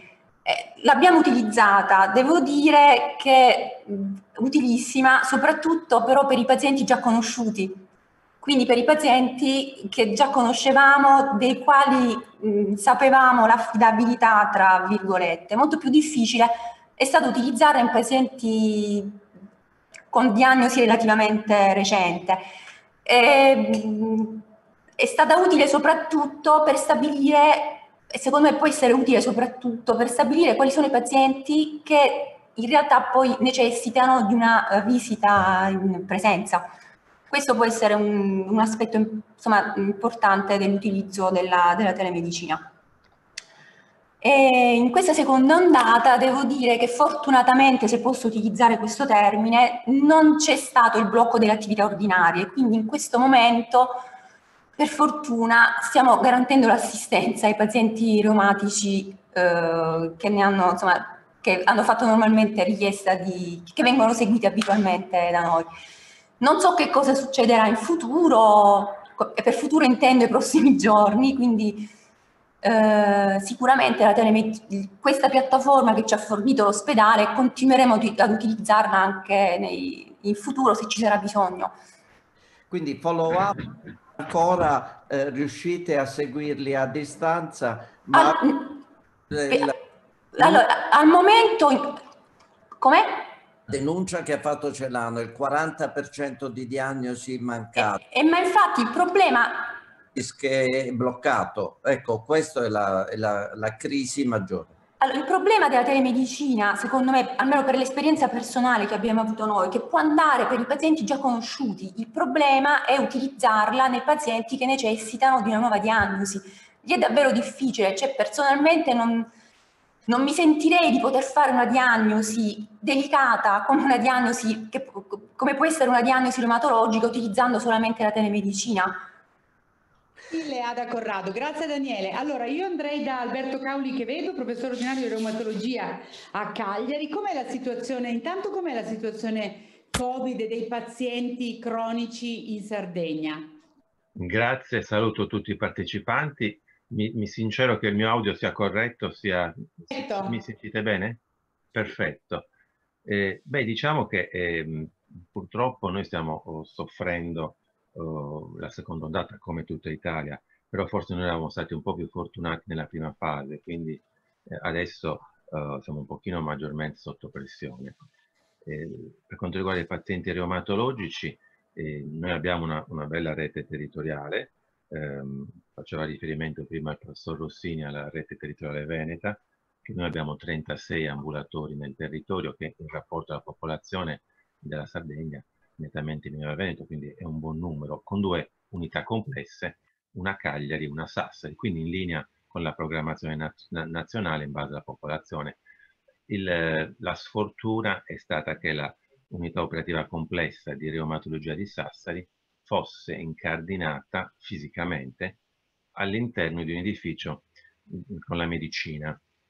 Quindi nel momento in cui hanno trasformato l'edificio e la medicina in centro Covid, la reumatologia è stata inglobata, quindi eh, in questo momento sta operando come centro Covid. Purtroppo era proprio la, la, locazione originaria che è stata sfortunata, non ha giocato a favore della reumatologia e ne si poteva um, far niente perché diciamo, c'è stata l'emergenza maggiore a Sassari. Quindi diciamo, anche i colleghi di Sassari stanno eh, combattendo con le loro mani contro la pandemia. Detto questo, oh, la rete territoriale continua a funzionare. Cagliari, eh, come messa?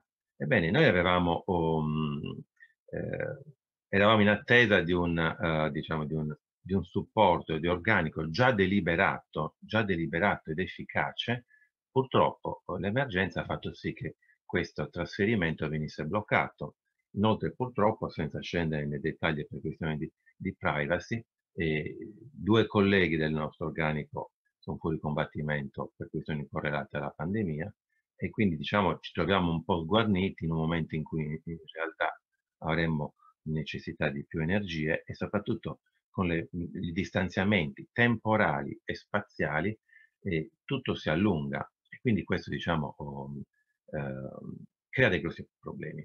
Inoltre ci sono stati dei, eh, dei casi nel personale in diverse reparti dell'edificio della reumatologia quindi questo ha determinato sospensione dei servizi, tamponamento ripetuto tutti i dipendenti, infermieri, medici, specializzanti, sospensione delle attività eh, di ricovero ambulatoriali. Adesso diciamo questa, mh, lo screening su tutto il personale è terminato, poi i terzi tamponi diciamo, e quindi dovremo riprendere la settimana prossima, però noi ci troviamo molto sguarniti ed è di ieri, ma Antonella questo lo sa, la pubblicazione anzi di avantieri, di una bella lettera della rappresentante e di Manuela, la rappresentante sarda, ehm, delle nostre difficoltà in organico. Eh, io devo dire, ho scritto ripetutamente, però effettivamente è un momento in cui eh, non ci ascoltano perché sono sopraffatti dall'emergenza. Devo dire che all'inizio un po' mi arrabbiavo, anzi mi arrabbiavo molto. Adesso um, non dico che lo capisco né lo condivido, però oh, eh, siamo in emergenza e noi cerchiamo di fare il possibile, eh, però oh, a, a, abbiamo delle limitazioni. Faccio un esempio perché mi riferisco un po' a quello che ha detto il professor Rossini prima sul discorso delle, delle, della reumatologia che subisce, lui l'ha detto in termini positivi, cioè che i reumatologi vanno ad aiutare, questo sicuramente è, è vero, noi non ci tiriamo indietro però faccio un esempio, io dieci giorni fa ho contrattualizzato una sinistra di ricerca, anzi un rinnovo di assegno, un ragazzo che, avevo, che si è laureato alla Cattolica, si è specializzato da noi perché eh, ormai i medici girano, aveva firmato dieci giorni fa, poi eh, in 79, in 24 ore è stato contattato dal maggior ospedale, un capoluogo di regione, di, una, di un'altra regione, hanno proposto un ruolo di dirigente medico, una medicina, è venuta a salutarmi la sera, professore, una straordinaria opportunità per me, effettivamente lo era, che comunque lui era di quella regione, e quindi è partito, sta assistendo ai malati Covid, era una persona che aveva tanti numeri per rimanere in ambito della ricerca e dell'assistenza in reumatologia, adesso è un dirigente medico in medicina interna. E tutto il mio quarto anno è stato decapitato, è stato, sono stati assunti dalle ASL, chi in PS, chi in medicina, chi in Sardegna, chi ad Ancona, chi nelle Marche, anche il terzo anno decapitato perché sono andati nel territorio, quindi io sono ritrovato i primi due anni, adesso il mio secondo anno da, da pochi giorni è, è, transitato al terzo, li stanno corteggiando, quindi oltre ad avere una carenza di strutturati, eh, mi vengo anche, eh, vedo gli specializzanti che mi sfuggono perché un po' hanno l'entusiasmo di andare a dare il loro contributo, un po' chiaramente anche le ambizioni di, di, di sentirsi grandi, cioè professionisti, dirigenti, Quindi la reumatologia in effetti sta pagando in termini di spazi, in termini di personale, in termini di tutto.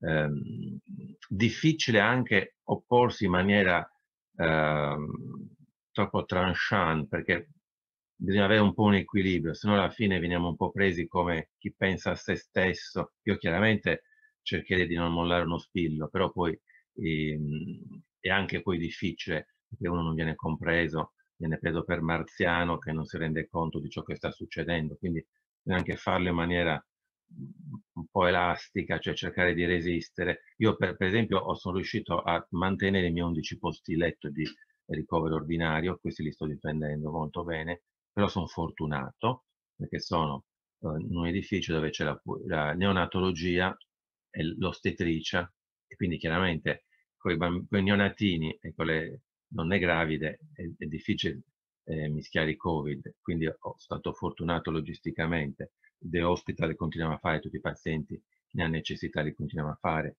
E rimaniamo il, diciamo, il, il, il, non urgente. Gli ambulatori però abbiamo avuto un blocco proprio eh, in virtù però dei, dei, positivi nel personale. C'è stato proprio un momento in cui ha, ha circolato nel, nell'ospedale e gioco forza lì la direzione generale ha dovuto bloccare. Però siamo positivi, cioè positivi nel senso eh, eh, negativi al tampone ma positivi mentalmente. Speriamo di ritornare a, a pieno regime e faremo di tutto per dare le risposte ai pazienti, quindi speriamo di rispondere ad Antonella eh, in termini positivi quanto prima. E a grazie Mariella, mille Alberto nostra... Cauli, grazie. Allora Silvia Tonolo, eh, abbiamo sentito che la reumatologia sta pagando un prezzo molto alto nei confronti Pronto? del Covid, eh, quindi chiederei eh, il, suo, il suo parere, ma anche chiederei il suo parere su quanto diceva adesso il professor Cauli, ovvero dobbiamo anche renderci conto del momento in cui ci troviamo, dove dobbiamo fermare l'asticella, fino a quando dobbiamo spingerci a chiedere per non ritrovarci poi in una condizione di gravità estrema e nel contempo riuscire a superare questo momento. Domanda difficile. Non tanto difficile, nel senso che il professor Cauli mi sembra positivo e sono felice per lui, io invece non lo sono assolutamente. Non lo sono assolutamente perché quando noi avevamo già paventato nel marzo del, di quest'anno la problematica Covid, pensavamo che durante l'estate ci fosse, come dire, una programmazione sanitaria del, eh, degli ospedali e del, del territorio. Questo è venuto a mancare L'ultimo DPCM della scorsa settimana parla chiaro, non siamo stati citati in nessuna riga del DPCM come lavoratori fragili, soprattutto neanche come patologie, nessuna delle patologie croniche è stata citata.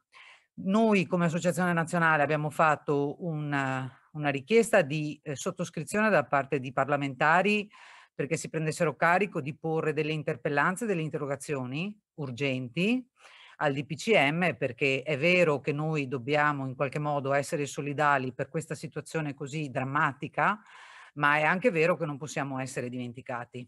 Mhmm, prima era stato detto, beh, non proprio dimenticati. L'assessore Lanzarin ci dice di aspettare e quindi quella delibera che citava prima il professor Rossini da parte della Regione Veneto e come in altre regioni di sospensione delle attività ambulatoriali non, voglio dire, non credo che durerà 15 giorni, non credo. Allora, mentre prima avevamo l'idea che forse durante l'estate il Covid si sarebbe frenato, Adesso abbiamo davanti un inverno intero non, e anche una parte dell'autunno e una parte della primavera sicuramente, perché i numeri sono alti, perché i numeri sono preoccupanti e soprattutto perché abbiamo anche delle informazioni che, come dire, eh, non danno... Mh, non, eh, come dire, spaventano i malati cronici e in particolare i malati reumatologici che noi rappresentiamo. Questo perché? Perché ognuno dà idee e pensieri diversi, perché purtroppo stando incollati a casa eh, abbiamo anche la televisione piuttosto che i social che ci come dire, mettono anche dell'ansia. Noi siamo mh, persone che soffrono di patologie eh, invalidanti, croniche, che mh, siamo immunodepressi e quindi anche tutto quello che ci, ci eravamo detti sulla eh, vaccinazione antinfluenzale è come stata un po' messa da parte perché naturalmente i vaccini non ci sono, non ce ne sono tanti a sufficienza, quindi come dire, noi abbiamo anche teso non una mano, due mani, anche tutti e due i piedi e anche le due guance. Il problema è che la programmazione sanitaria non si può fare così, la programmazione sanitaria deve essere estesa in un modo, come dire, anche in condivisione con le associazioni pazienti che sono quelle che recepiscono dal territorio tutta una serie di problematiche perché voglio dire, la diagnosi precoce va bene, ma tutti i pazienti che erano in cura, che da marzo continuano a essere traslati nel tempo per quanto riguarda la loro patologia, perché è vero che vogliamo arrivare alla remissione, ma in questo caso parlare di remissione mi sembra anche un po' come dire indelicato nei nostri confronti. Noi abbiamo anche bisogno, perché voi avete parlato prima si parlava, il, il dottor Guzzonato parlava di diagnosi precoce, modelli assistenziali, rete di patologie, rischi di attesa, multidisciplinarietà, PDTA light, telemedicina, tutte belle parole, sicuramente tante belle parole, però poi alla fine siamo noi a doverci, come dire, no, eh, prendere tutto il carico di questa problematica che è stata una disorganizzazione generale che ha provocato nei territori, perché poi ci saranno sicuramente le realtà virtuose, ci saranno sicuramente i direttori generali che hanno una, una particolare attenzione verso le nostre patologie, però voglio dire, se io dovessi fare un quadro attuale di com'è la reumatologia in Italia, io direi che non è così positiva la situazione. Poi io non posso certo lasciare al professor Punzi piuttosto che al professor Rossini, al professor Iannone, al dottor Fusaro e tutti gli altri, la loro e la professoressa Iagnocco, la buona volontà di contattare il paziente con il cellulare piuttosto che con la mail, devo anche capire che dall'altra parte, cioè dalla parte del paziente, c'è una necessità di condividere alcuni momenti della mia patologia, alcuni momenti di comorbidità che dal, mhmm, dal niente possono avvenire e soprattutto avere anche un punto di riferimento che potrebbe essere il medico di medicina generale che però della mia patologia in questo momento non può interessargli più di tanto perché, perché è talmente preso da essere quello che è contattato se c'è una bronchite in atto, da quello che è contattato perché forse è positivo, da quello che forse è in, da quella paziente che forse è incinta ma non riesce a contattare il ginecologo, da quello che, che ne so, che ha una polmonite, da quello che si è rotto un piede, cioè voglio dire io il medico di medicina generale e soprattutto la parte della vaccinazione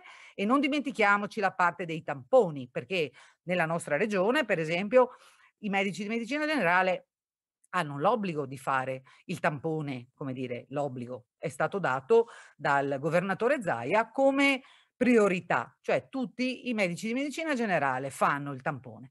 Allora, io non posso oberare una persona e poi anche aspettarmi che mi risponda al telefono perché io oggi mi sono svegliata che ho una lombalgia fulminante, che non sono capace di alzarmi dal letto, ho una riacutizzazione della malattia e il mio reumatologo non riesco a contattarlo perché è cooptato nei reparti Covid.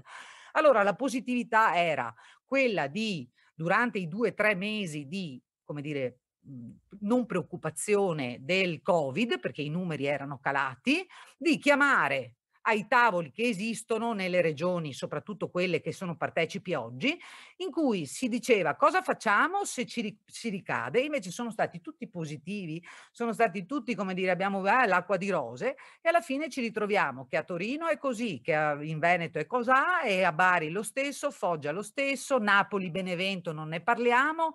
E quindi voglio dire situazioni in cui io vorrei, io, noi credo che con Antonella è da marzo, fine a febbraio, che andiamo avanti a fare della informazione trasparente e pulita per non far calare anche la preoccupazione dei pazienti reumatologici. Però abbiamo bisogno anche del supporto, a parte della parte clinica che c'è e l'abbiamo, ma delle istituzioni che a un certo momento, quando decidono di fare programmazione, non mettano come priorità unica ed esclusiva il Covid, che sicuramente è una priorità, ma secondo me una via d'uscita c'è se, mettia, se ci mettiamo tutti insieme. Il problema è che quando decidono dall'alto, e mi è piaciuta una cosa importantissima che ha detto la professoressa Iagnocco, no, ricordatevi che quando parlate di aderenza, se manca la decisione condivisa con il medico, il paziente non sarà mai aderente.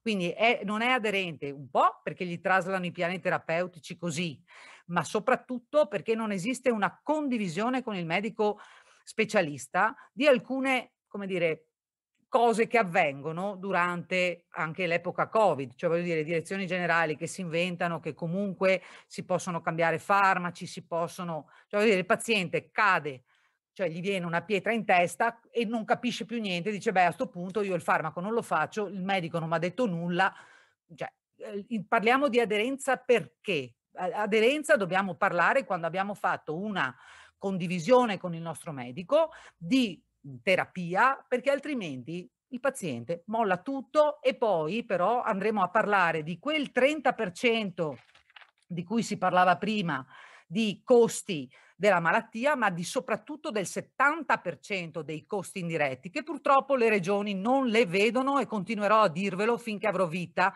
perché il 70% di quelli costi indiretti li vede solo ed esclusivamente lo Stato centrale, perché tutto quello che è elargizioni di pensioni, piuttosto che di malattie, piuttosto di tutto quello che ci caregiver, non dimenticatevi caregiver, perché li dimenticate spesso, ma i caregiver sono, oltre a, a mariti, mogli, compagne, eccetera, ma anche mamme di bambini che hanno patologie reumatologiche che non vengono mai citati neanche nei DPCM, cioè bambini che soffrono di patologie reumatologiche che magari non possono andare a scuola, che no, i genitori non possono rimanere a casa dal lavoro. Quindi perché dobbiamo dimenticarci anche di questa parte della nostra società? È il nostro futuro. Grazie Silvia Tonolo. Daniele e Paolo, come proseguiamo? Beh, eh, logico... Io volevo, se è possibile, una, due parole. Io, forse la, la, la, signora Tonolo ha interpretato un po' male le mie parole, io non è che eh, sono mezzo contento, assolutamente no. No, forse eh, ha lasciato, come dire, un po'... Mh, si è abbandonato a questa situazione purtroppo. No, minimamente. Io sto scrivendo in continuazione e sto lottando. Ah. Ora eh, sto cercando un equilibrismo perché è quello che non voglio e che si ricordino che ho 11 posti letto che possono essere utilizzati diversamente. Io mm. sto facendo, lo sto utilizzando per ricoveri specialistici di reumatologia, così come anche il day hospital, e così come i, i miei infermieri li ho difesi tutti, ne ho perso uno e stiamo erogando il servizio. Eh, però diciamo ho, ho, un po' di difficoltà ad essere ascoltato, quindi ehm, eh, ho, ho difeso ciò che avevo, non sto riuscendo ad avere ciò che mi era stato promesso, ma mi rendo anche conto che eh, è in corso una caccia al medico, quindi difendere il mio organico, i miei infermieri, i miei letti, non è eh, una sconfitta, eh, è diciamo i, miei piani di acquisire più personale e li devo un po' rimodulare nel tempo, però aver difeso il 100% del mio staff da eventuali altri utilizzi e dei miei letti non è una sconfitta, cioè in questo contesto in cui diciamo, certi reparti vengono proprio chiusi, eh, eh, non so certo. come definirla, non vorrei che la signora Tonolo mi... mi eh, io, no. io, sto facendo tutto ciò che posso, poi non li posso neanche Ho prendere per il colletto. Scusate ragazzi, vorrei solo che l'unione fa la forza. L'unione sì, fa ecco, la forza, ma non a caso... Tanto Abbiamo il sostegno della, della, rappresentante locale dei malati, delle diverse associazioni. E non a caso sto, sto apparendo sui giornali, uh, uh, uscirò nell'emittente locale più seguita proprio a difendere le malattie reumatiche e, e anche l'istituzione di nuovi ambulatori dedicati. E, quindi a, anche queste cose. Abbiamo fatto dei, delle call, dei webinar con i medici di famiglia, cioè ci stiamo dando da fare.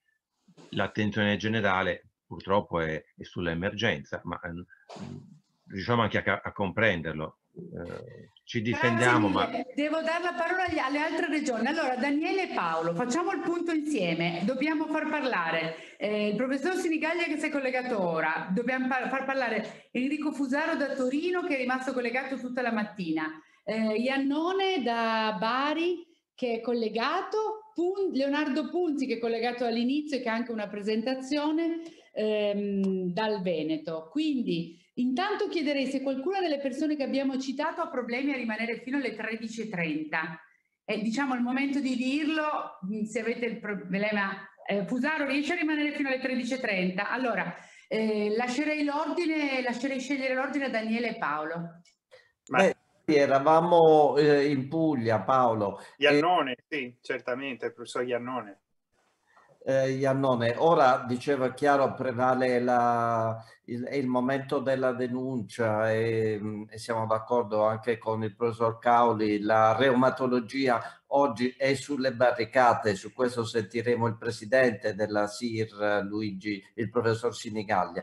Eh, ma eh, la Puglia, ecco, la Puglia, eh, un momento, proprio alla vigilia del Covid, era in un momento in cui stava avviando una forte ridefinizione eh, organizzativa, cioè stava ridefinendo il modello di rete. La Puglia ha forse la rete reumatologica più, eh, più vecchia d'Italia, nel senso che ha, ha avuto questo primato, però ora si poneva il problema di una implementazione organizzativa. E io, Giulia, se sei d'accordo, Paolo certamente d'accordo con me, d'ora in poi passerei dal momento dell'analisi alle proposte, alle proposte condivise, perché eh, Paolo Guzzonato ci ha dato una... Pronato alle proposte concrete, diciamo così, e quindi chiederei a, diciamo, al, alla parte finale, così come dice Daniele, proprio di arrivare a delle proposte concrete, già dal professor Iannone. Ecco, infatti il professor Iannone sicuramente ha le idee molto chiare su come migliorare, anche partendo da questa eh, fase difficile, eh, le diagnosi early. Da poco, per esempio, eh, lui ha varato e ne ha parlato eh, a settembre durante la fiera eh, del Levante il progetto eh, della diagnosi precoce nelle spondiliti. Ma insomma, la Puglia e la reumatologia dell'Università di Bari si pone il problema della diagnosi precoce, dell'accesso alle terapie innovative che possono bloccare eh, l'evoluzione verso l'invalidità. Ecco, ora, come ha detto Silvia Tonolo, ci prepariamo all'inverno, sarà l'inverno del nostro scontento, ma dobbiamo invertire la rotta ed è l'innovazione che può farci invertire la rotta. Una ridiscussione dei PDTA, eravamo in, a, a questo momento, la multidisciplinarietà che prima della crisi era invocata proprio da, da Celano, dalle, dal programma delle associazioni dei pazienti che mettevano la multidisciplinarietà, ricordiamo tutti, al primo posto. Professor Iannone, come ripartiamo? Quali proposte mettiamo in campo? Professor Iannone non, forse non ha un buon collegamento in questo momento, però possiamo rivolgere, eh, possiamo rivolgere allora eh, la eh, domanda al professor Fusaro?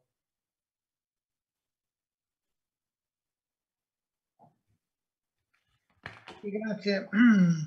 Ma, eh, Pronto, mi sentite? Sì.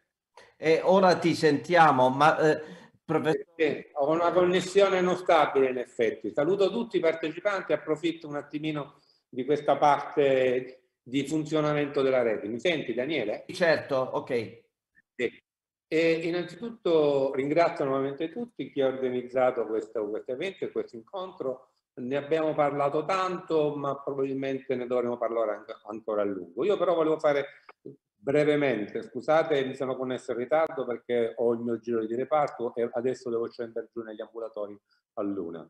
E, uh, il professor Cauli ha fatto un, un piccolo accenno che secondo, secondo, me dovremmo considerare globalmente. Ovviamente la, sono a fianco l'associazione dei pazienti 24 ore al giorno. Uh, assunto questo, quello che stiamo rischiando noi, come e noi siamo in un osservatorio privilegiato, quindi dovremmo cercare di guardare un po' a 360 gradi quello che accade intorno. È un piccolo indicatore, ad esempio, che in questa settimana nel mio reparto ho fatto 5-9 diagnosi di neoplasie per i ritardi di accesso, quindi sto parlando di neoplasie e non di malattie reumatiche, per dire che noi non siamo, uh, noi non siamo insensibili a quello che accade al mondo, alla, alla salute dei nostri pazienti, qualunque qualunque sia, tra virgolette, la, la problematica. Eh, stiamo però rischiando un impoverimento culturale che probabilmente non riguarda sicuramente l'emergenza, ma in futuro sta accadendo quello. Il, il, decapitare gli anni di specializzazione sta diventando drammatico, noi lo risentiremo, adesso stiamo utilizzando gli specializzanti per vicariare e supportare quello che non è stato fatto negli anni precedenti. Quindi questo ritardo di formazione e di crescita che abbiamo nei nostri medici, adesso stiamo decapitando le specializzazioni, per cui i nostri specializzanti non vedono l'ora di arrivare al terzo anno per arricchire, per, diciamo, per arrotondare il loro stipendio. E quello che accade qualche volta sono gli specializzanti che vanno, pur essendo bravi medici, andare nei pronto soccorso a gestire situazioni così complesse, probabilmente non sono ancora maturi per farlo. Vabbè, questa era una mia considerazione perché di questo tipo di, di, di impiego, usate l'espressione, degli specializzanti, ne pagheremo le conseguenze fra una decina d'anni. Detto questo, cosa stiamo cercando di fare in Puglia. E detto che è stato più semplice gestire il lockdown completo, perché quando il lockdown era completo, voglio dire, abbiamo avuto un, una maggiore, c'era meno confusione intorno. Quindi c'erano degli interlocutori fissi, c'erano degli orientamenti ben precisi, siamo riusciti a mantenere per quanto riguarda Bari sia l'attività ambulatoriale che l'attività di reparto. Io ho 17 posti letto, adesso un attimino ridotti per ottimizzare gli spazi e però riuscivamo addirittura ancora a mantenere un rapporto con il territorio per quanto riguarda la gestione dell'early arthritis, perché non abbiamo avuto una uh, chiusura completa, nel senso che la definizione di urgenza ed emergenza è stata affidata a noi medici e quindi voglio dire nessuno può definire quello che è urgente e quello che non è urgente. Sta al medico specialista in questo caso interagendo con i propri pazienti definire un livello di eh, emergenza tale da intervenire. E questi fattori sono tanti, e qui ci sono le associazioni pazienti, che, non sono semplicemente legati allo stato di attività di malattia, ma a tante altre cose. Quindi la nostra attività per la definizione, per l'identificazione delle eh, eh, malattie reumatologiche, artriti in, in fase precoce, diciamo, ha funzionato abbastanza bene nei primi periodi. Adesso stiamo eh, stiamo avendo anche noi un po' di difficoltà. E parte di questa difficoltà è anche dovuta all'effetto panico. Quindi vorrei eh, esortare le, le, le, associazioni a, a, diciamo, a, a stare, non che non lo siano ovviamente, ma a tranquillizzare i pazienti, perché quello che qualche volta sta accadendo è che i pazienti disertano, stanno disertando gli appuntamenti negli ambulatori. E questo e questo può creare ulteriori problemi a quelli già esistenti. Quindi per quanto riguarda Bari adesso stiamo riuscendo ancora a mantenere. Eh, il dottor Amoruso faceva riferimento all'importanza di continuare a lavorare a livello istituzionale. Stamattina ho sentito l'ARES, che è l'Agenzia regionale per i servizi sanitari, eccetera, eccetera, perché stiamo appunto cercando di ottimizzare e di aggiornare la rete reumatologica. Siamo a buon punto, e in questo uh, aggiornamento della rete reumatologica condiviso con l'associazione di pazienti stiamo ad esempio ottimizzando la raccolta dei dati e l'informatizzazione dei dati che detto adesso in un contesto di questo genere sembra una cosa uh, superflua ma è fondamentale perché l'ottimizzazione della raccolta dei dati che la regione spero ci vorrà supportare almeno sulla carta lo sta facendo è il prologo è il presupposto necessario per poter parlare poi di teleconsulto o addirittura di televisita. Se non si raccolgono bene, se non, se non si informatizzano le reti, ovviamente questo discorso della, della, del teleconsulto non va oltre il WhatsApp oppure la mail che abbiamo sempre fatto anche, anche in passato. Quindi questo è un passaggio assolutamente importante che noi stiamo facendo.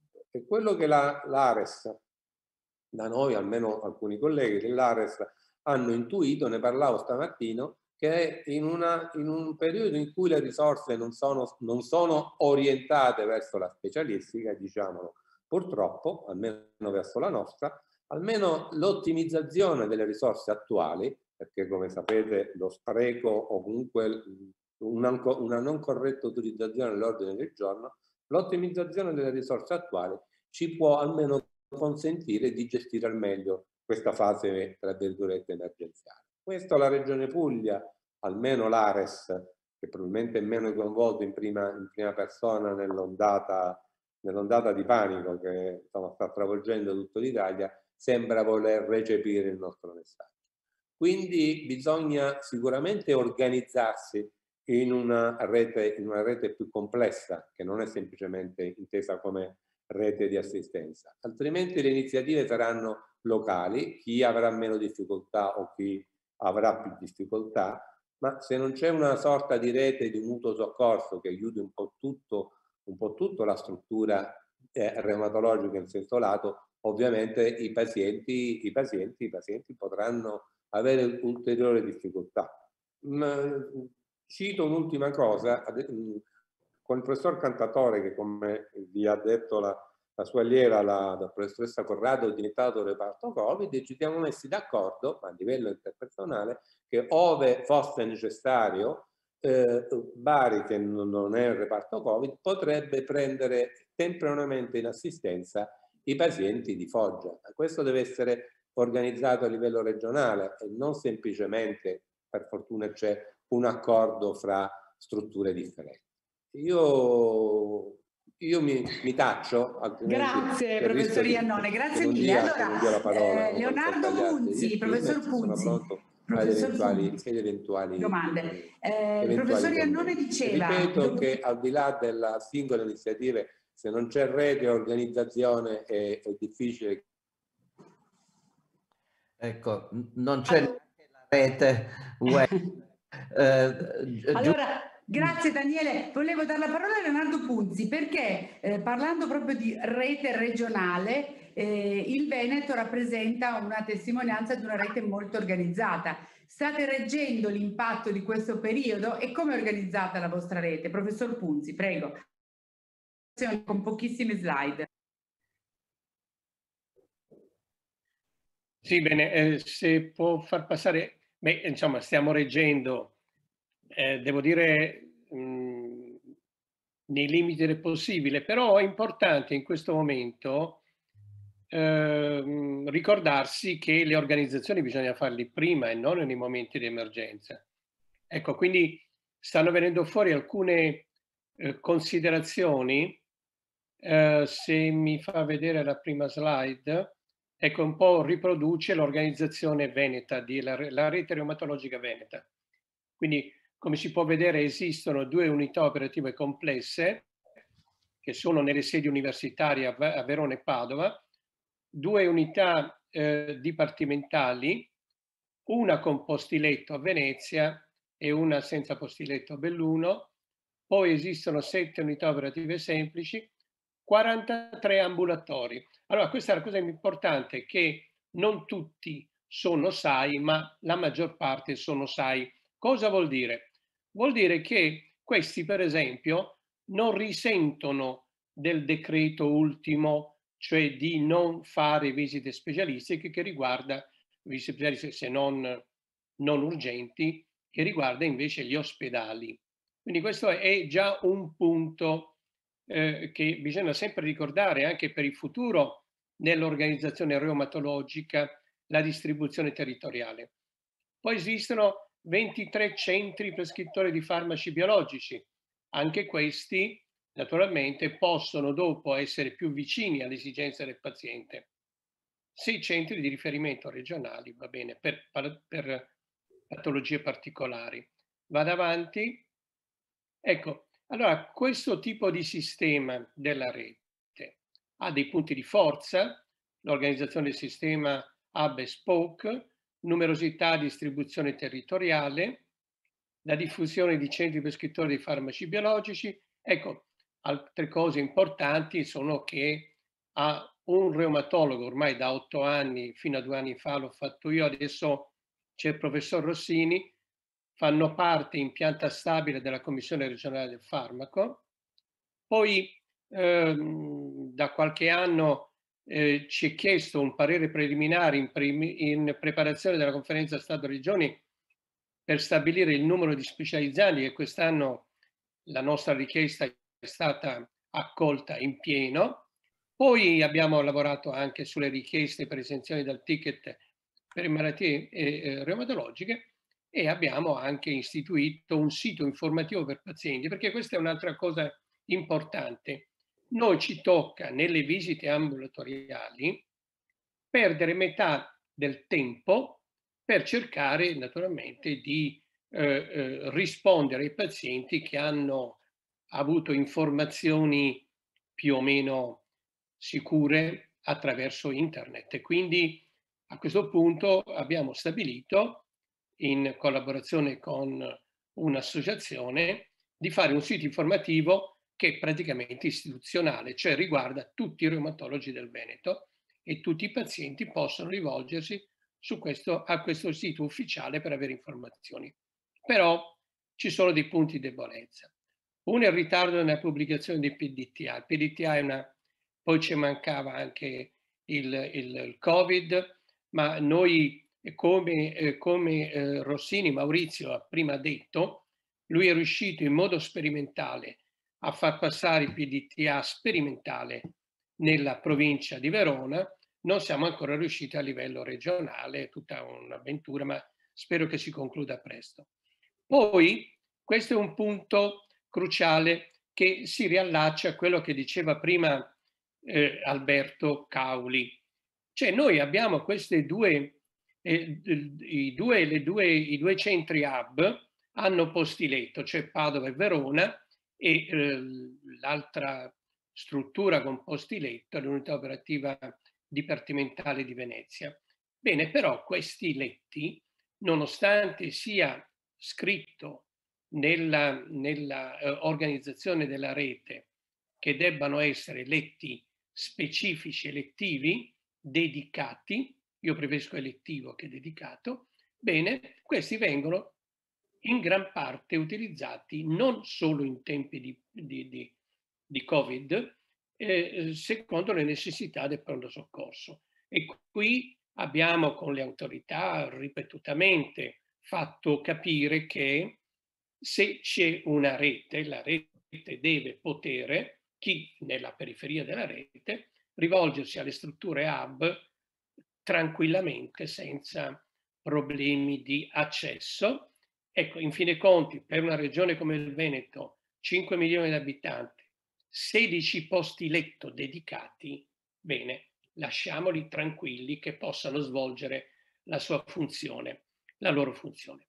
Poi i centri ambulatoriali, che sono già moltissimi, gli ambulatori, però in alcune aree, tipo quella di Verona, e ancora sono scarsamente diffusi, e anche qui, in questo momento, si pone la ancora incompleta distribuzione dei centri prescrittori dei farmaci biologici. Ora, francamente, diciamoci la verità, vista ormai le nostre conoscenze sui farmaci biologici possono alcuni specialisti ambulatoriali tranquillamente prescrivere questi farmaci senza dover fare tutta la trafila a cui eh, sapete sono costretti alcuni pazienti.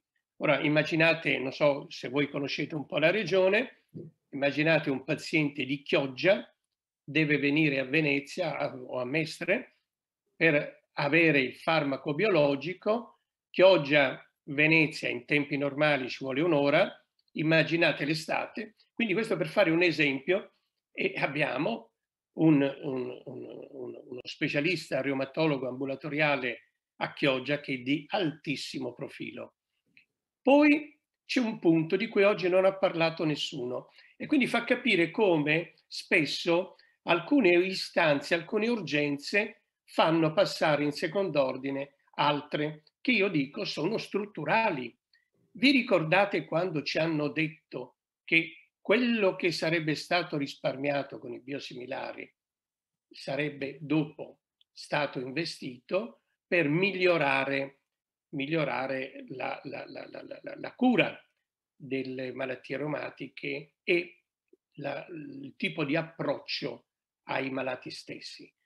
Mm, possiamo fare tanti esempi. Uno è per esempio allungare i tempi per la visita, perché da noi, eh, da noi penso che sia comune in Italia, spesso la prima diagnosi si fa in una visita che dura 20 minuti, che un, dal punto di vista umano è estremamente umiliante. Questo per dirne una, ma ci sono tanti motivi, ma noi quei soldi, che io sappia, se qualcuno mi sa dire il contrario, ma almeno da noi nel Veneto non sono stati riutilizzati a favore dei pazienti eh, reumatologici. Ecco, io ho finito. Professore, Mille, professor Punzi. Posso una roba sola, veloce. eh, no, io volevo sottolineare, professore, che era uno dei punti che abbiamo raccolto mh, non solo nel Veneto e, e che è proprio citato nella, nella mia presentazione. Eh, il risparmio attraverso le terapie biosimilari deve rimanere nell'area che lo ha generato e offrire le Certo. migliori cure anche innovative. Tant'è che in un'ultima riunione di persona a Verona, in cui credo ci fosse anche il professor Rossini, eh, la professoressa Scroccaro, la dottoressa Scroccaro parlava di un risparmio intorno ai 14 milioni di euro l'anno e io chiesi, chiesi alla dottoressa Scroccaro se era possibile investire quel come dire, un decimo di quei 14 milioni di euro, visto e considerato che siamo stati solidali come pazienti, di reinvestirli nella reumatologia. Forse, forse qualcosa si sarebbe mosso se, ma siccome purtroppo tutto va nel calderone, quel risparmio è andato nel calderone. Silvia, ma avevamo anche una, un attimo solo, scusate, Silvia, avevamo anche un documento, ti ricordi quello congiunto Certo. fatto anche con le, al- dove sollecitavamo appunto di reinvestire quel, Eh, sì, quel ma risparmio. Ma penso che oggi sia anche abbastanza anacronistico rimasto- parlare di questo, Sì. con l'emergenza. Vabbè, però, io- però, però l'emergenza, non c'è sempre emergenza. Allora Antonella, ciao.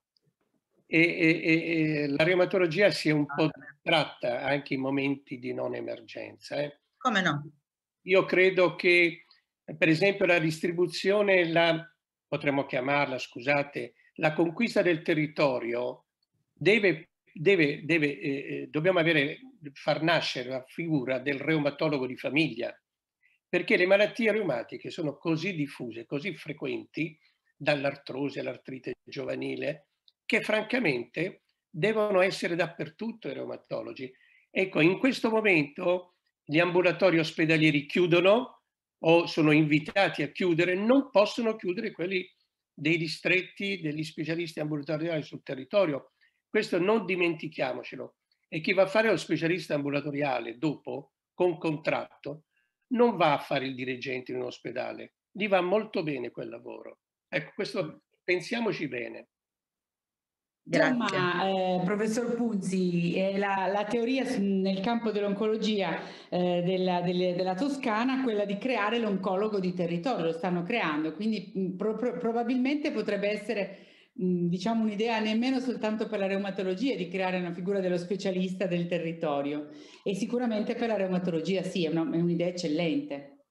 Allora, eh, veniamo a... mancano ancora Paolo e Daniele il professor Fusaro e il presidente della SIR. Eh, io a questo punto chiederei a Fusaro di fare l'intervento e lascerei alle pre-conclusioni il professor Sinigalli e poi un minuto a testa se può funzionare come giro di conclusione. Sì, un, un giro di conclusioni con delle proposte. Sappiamo che per esempio le associazioni dei pazienti hanno delle proposte concrete.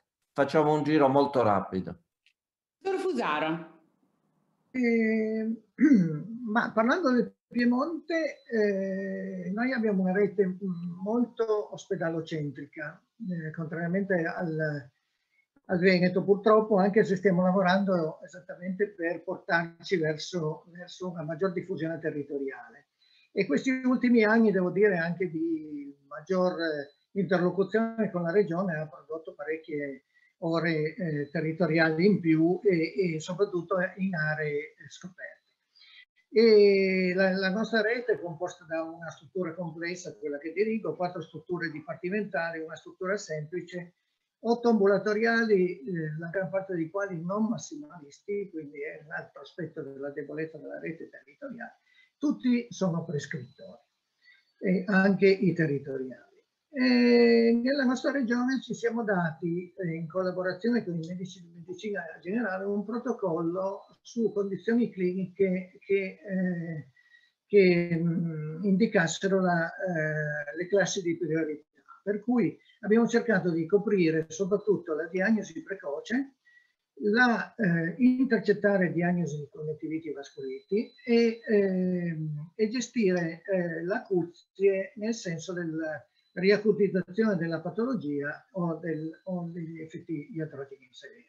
Devo dire che questo protocollo continua a funzionare e eh, recentemente eh, questo protocollo si integra eh, diciamo utilmente con eh, le, le, disposizioni regionali che eh, individuano soltanto le prestazioni in classe U e B eh, come eh, eh, autorizzate in questo periodo.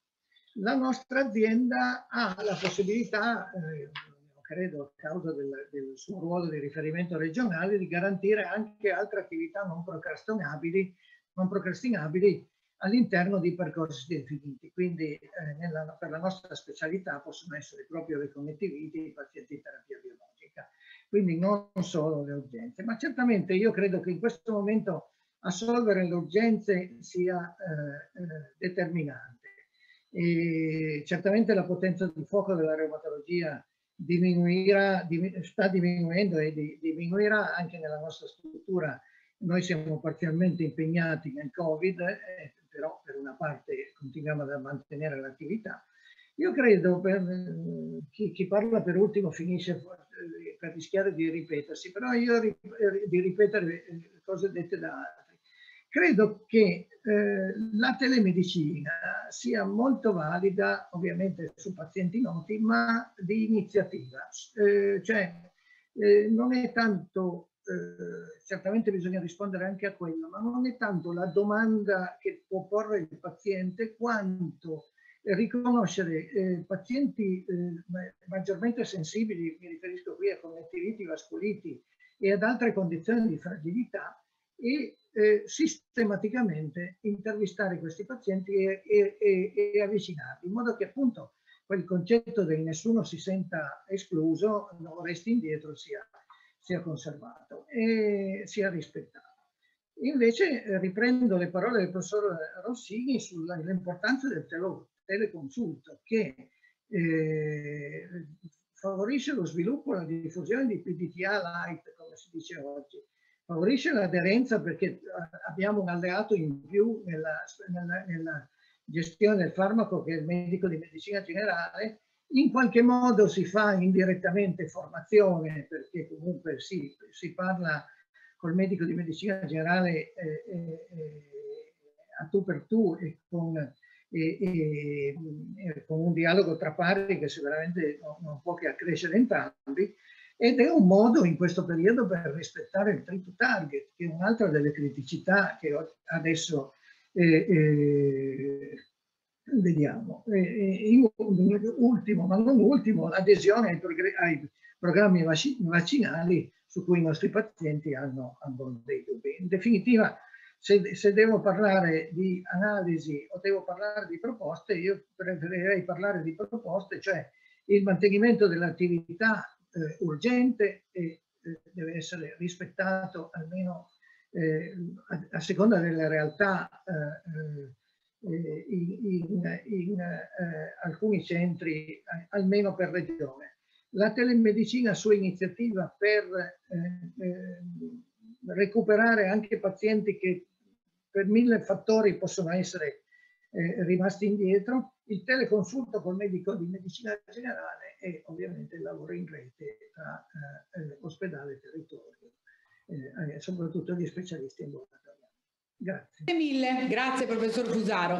Allora, eh, pre-conclusioni, professor Sinigaglia, grazie per essersi collegato, ha comunque potuto sentire un po' di quanto anche di concreto è stato detto questa mattina, sono venuti fuori alcuni spunti anche e soprattutto eh, dalla parte clinica, ma mh, insomma l'assessore regionale ci ha detto abbiate pazienza per una quindicina di giorni e ripartiremo con l'attività ordinaria. Ora forse diciamo non siamo così propensi a credere che i tempi saranno questi, ma insomma come riusciamo a convincere le istituzioni che dobbiamo continuare a curare le persone croniche, a vedere le persone croniche, in particolare i malati reumatologici.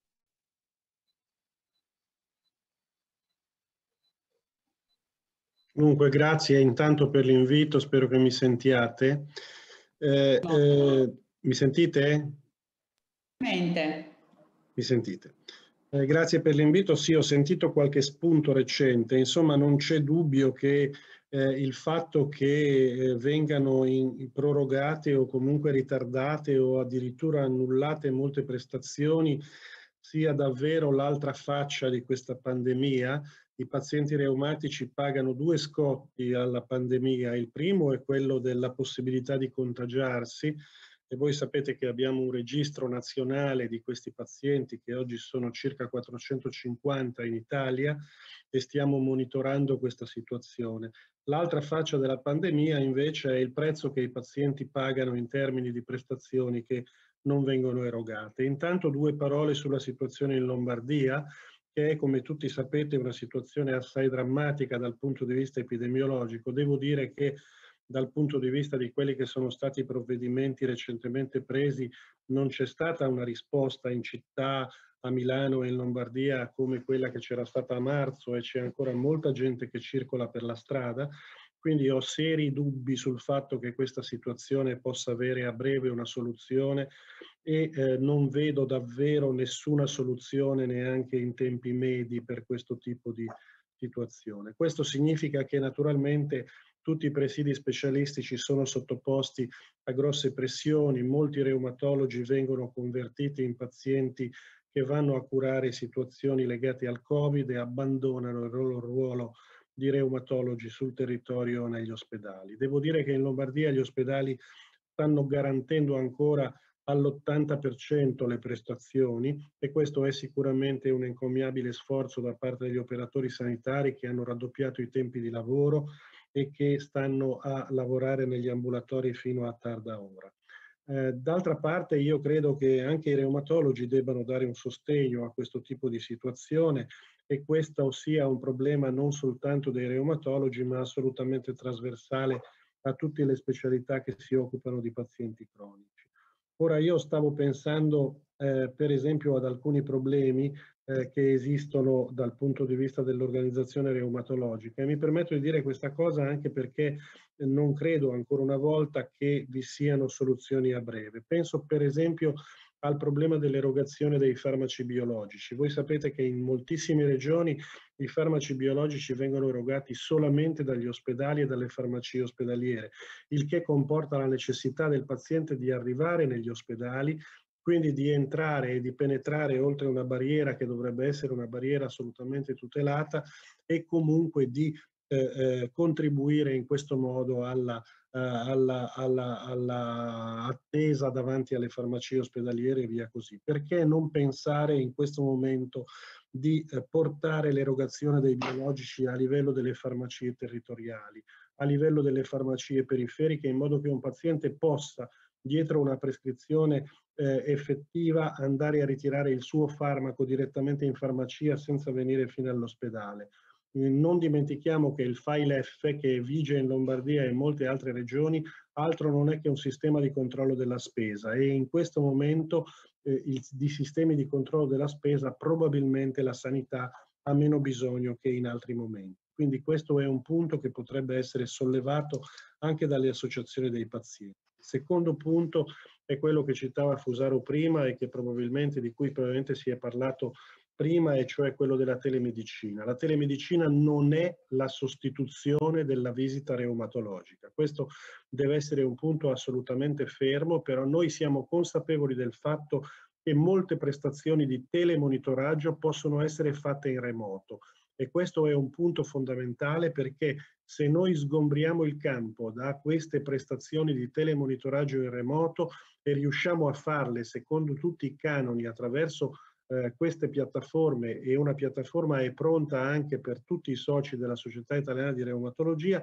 se noi riusciamo a fare questo, riusciamo probabilmente a concentrarci per il nostro residuo, la nostra residua attività su eh, prestazioni di prime visite e di urgenze reumatologiche. Le prime visite sono fondamentali, guardate, perché perdere tante prime visite significa perdere diagnosi precoci, significa quindi ritardare l'intervento terapeutico, significa quindi creare disabilità che pagheremo inesorabilmente eh, tra qualche tempo, tra qualche mese, tra qualche semestre o tra qualche anno.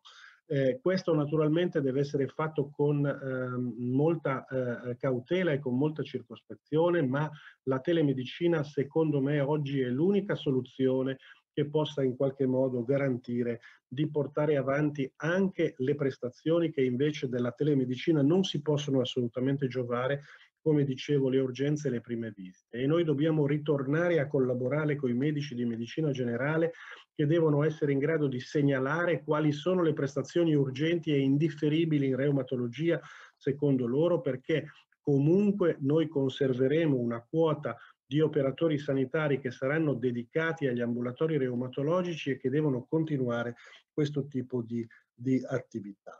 Quindi eh, collaborare con i medici di medicina generale, eh, cercare di eh, optare per le soluzioni di telemonitoraggio e cercare di eh, eh, avere la possibilità di erogare i biologici nelle farmacie senza costringere più i pazienti a venire in ospedale. Io credo che questi siano tre provvedimenti fondamentali che dobbiamo cercare di perseguire in questo momento critico. Mi ricollego al discorso di Punzi e degli operatori che parlavano prima per quanto riguarda la diffusione e le reti reumatologiche reumatologiche. Uno dei miei eh, punti fondamentali quando sono diventato presidente della SIR e purtroppo questa cosa non è così facile da fare in un biennio e non è così facile diffondere questa comunicazione in un biennio, era semplicemente questo. Ma perché non ci deve essere almeno un reumatologo in tutti gli ospedali italiani. Io direi che questo è un obiettivo che noi dobbiamo perseguire, cercare di avere una figura reumatologica qualificata in tutti gli ospedali, in grado di fare tutto quello che fanno i centri, e cioè di prescrivere biologici, di erogare biologici, di monitorare i biologici e di fare prime diagnosi. Questo è il disegno fondamentale che la reumatologia deve cercare di perseguire, avere almeno un reumatologo in ogni ospedale, perché della figura del reumatologo per la frequenza di questo tipo di patologie eh, c'è assoluta necessità in tutto il contesto sanitario nazionale. Vi ringrazio. Grazie mille professore. Allora lascerei a Daniele e Paolo le altre preconclusioni prima dell'ultimo giro di tavolo. Daniele.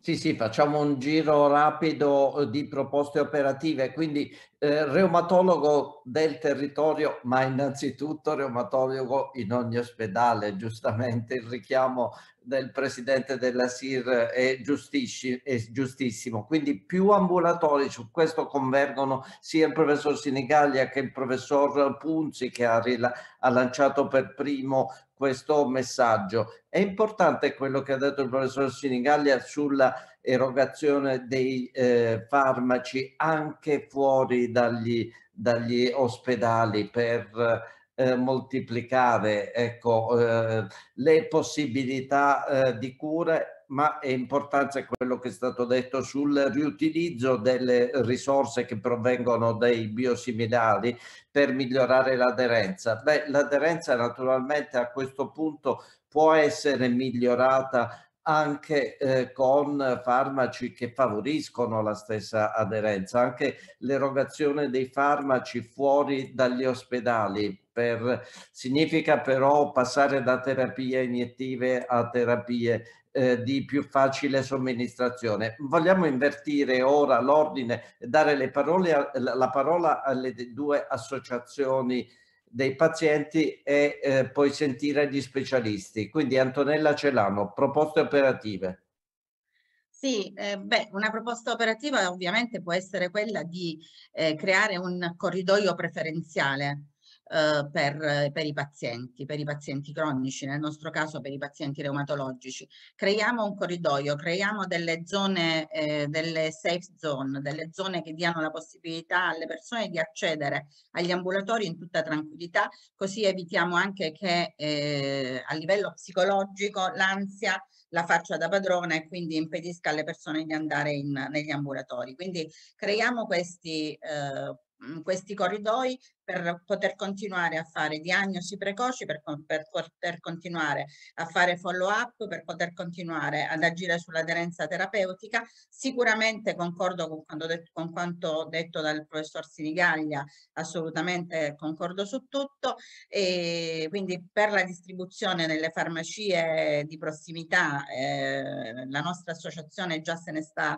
occupando, mh, abbiamo una partnership con Federfarma dove stiamo lavorando lavorando sulle giornate informative per eh, le patologie reumatologiche con un corso FAD destinato a tutti i farmacisti d'Italia.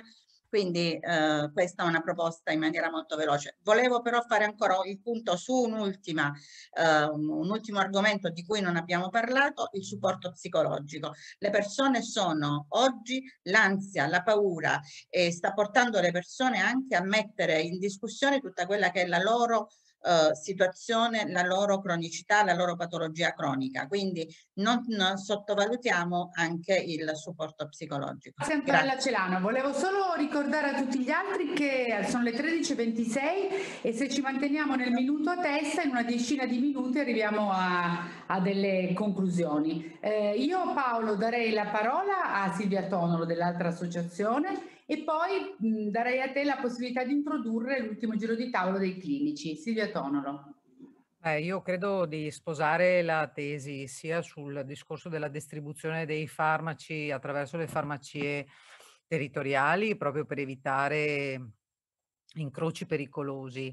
Primo. Secondo, di tranquillizzare i pazienti sul discorso del delle visite e che quindi in qualche modo riusciremo a trovare una soluzione, magari anche attraverso eh, il sostegno delle istituzioni, perché io ho visto muoversi qualcosa anche a livello della regione Piemonte, cioè di qualche consigliere che sottolinea che non esiste solo il Covid e quindi di dare, come dire, anche una priorità ai pazienti magari in acuzia di avere eh, una, una, una, linea preferenziale, ma soprattutto quello che ha detto il professor Sinigallia sulla telemedicina, perché la piattaforma della SIR è una piattaforma importante per noi per rendere in qualche modo i reumatologi che possano condividere il paziente, ma soprattutto noi come associazione nazionale abbiamo questo strumento che dovrebbe riuscire a mettere in comunicazione il medico di medicina generale con la piattaforma SIRE, non solo, anche con altre piattaforme, quindi parlo della Società Italiana di Pediatria piuttosto che i gastroenterologi e dermatologi, quindi nell'eventualità di comorbidità o di pediatria e dare la possibilità anche aiutando e sostenendo, informando i pazienti che questa piattaforma può essere condivisa con per esempio i medici di medicina generale che piano piano possono essere anche formati per le nostre malattie. Quindi io spero che anche questo progetto che stiamo portando avanti come ANMAR possa come dire, avere uno spiraglio perché sicuramente la telemedicina che non sostituisce il rapporto medico-paziente ma aiuta sicuramente in questi periodi eh, di urgenza e che, in cui noi purtroppo dobbiamo trovare soluzioni per agevolare i nostri, i nostri malati. Grazie Silvia. Paolo, a te. Sì, ecco, allora gli spunti che abbiamo avuto sono stati tantissimi. Eh, io penso eh, che farebbe piacere a tutti eh, capire eh, l'importanza di eh, una rete reumatologica e di una cabina di regia che la gestisca. Quello che ha fatto vedere il professor Punzi, secondo me è stato molto interessante, la rete ospedalocentrica piuttosto che la rete che diciamo più moderna che va verso il territorio, perché in quel caso eh, quello che sta succedendo oggi con Covid dimostra che comunque l'assistenza ci può essere comunque. Eh, per cui vi chiederei un intervento su questo e poi sull'aspetto che forse non abbiamo molto trattato, molto velocemente, innovazione, PDTA, eh, so, ci sono già dei percorsi creati? Beh, eh, lascerei, ripartirei da Maurizio Rossini. Sì, sarò sintetico per dare spazio anche agli altri, ma io credo di poter riassumere le proposte operative in tre, in tre tematiche. La prima è una richiesta di maggior riconoscimento delle patologie reumatiche, eh, meglio reumatologiche. Anzi, meglio ancora, del paziente con malattie reumatologiche, garantendo l'assistenza ospedaliera e quella, e quella ambulatoriale in presenza, abbiamo capito tutti, eh, specialmente di prime diagnosi, prime visite e di casi complessi, perché non c'è dubbio che la telemedicina non, è, non può essere completamente sostitutiva. Per questo penserei a un manifesto sociale con una sorta di coalizione tra società scientifiche e associazioni pazienti. Due, sicuramente la risposta, il potenziamento della telemedicina e tra i vari strumenti, in particolare del teleconsulto, con i medici in generale vorrei aggiungere anche tra specialisti, perché spesso il paziente reumatologico ha comorbilità e come. Il, il terzo punto è chiaramente la necessità di un potenziamento della rete e soprattutto di quella territoriale, sia nei confronti del medicina generale che degli specialisti territoriali. Io vorrei ricordare che c'è un'indicazione specifica del Ministero della Salute e delle risorse, si spera, legate a questo, di un investimento sul territorio, eh, tra cui anche nelle forme l'infermiere del territorio e sicuramente anche la distribuzione eh, e la somministrazione, aggiungerei, di farmaci a livello territoriale. Grazie. Il, Anna Maria Iagnoc, poi alla fine chiederei le conclusioni definitive a Giuseppe Turchetti. Allora, Anna Maria Iagnoc. Sì, io mh, mm, molte cose sono già state dette. Secondo me il, il fondamentale è l'aspetto della diagnosi precoce e della garanzia di un alto livello di cura per i malati con malattie croniche e quindi anche ovviamente l'artrite reumatoide che devono essere mantenute.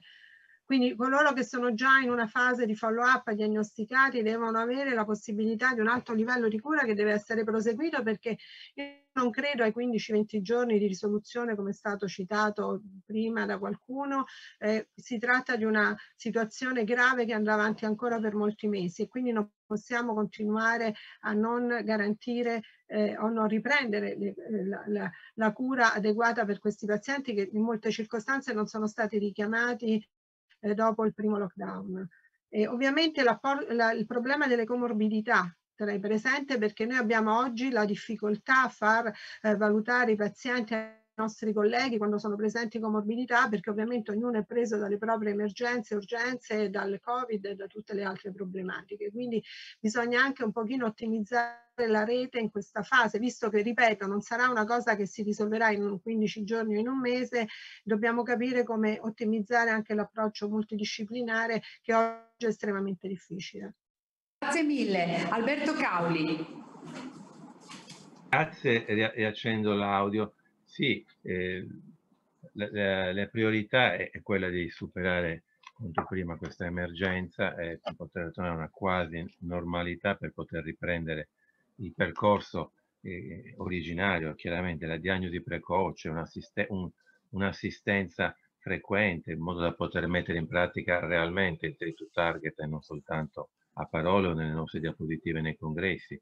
Quindi un, un aumentare il, il, anche il, il potere politico dei malati reumatici. Ecco, sono tanti, hanno malattie complesse, importanti, però mediaticamente contiamo meno di tante altre discipline. Io mi rendo conto che quando un qualcosa viene chiesto dall'oncologo viene accontentato facilmente perché il malato oncologico non si tocca. Alcune discipline storicamente hanno più ascolto. Io non, io non riesco a capirlo questo, perché malattie ci sono tante, malattie complesse. Ecco, dobbiamo riuscire ad avere un grip maggiore sui decisori politici, perché eh, rappresentiamo una disciplina che, come è stato detto all'inizio di, questa, di, questa, diciamo, di questo incontro, rappresenta una percentuale importante delle, dei malati che poi andranno incontro a disabilità, ma comunque dei malati che hanno una qualità di vita rovinata dalle patologie reumatologiche. Quindi dobbiamo farci sentire per ottenere ciò che spetta ai malati reumatici perché loro pagano le tasse e quindi hanno diritto a un'assistenza che sulla carta nel nostro sistema sanitario nazionale è codificato molto bene perché tutto ciò che è scritto è, è condivisibile, bisogna applicarlo bene e in tutte le regioni. Mi, mi Grazie mille, Ada Corrado.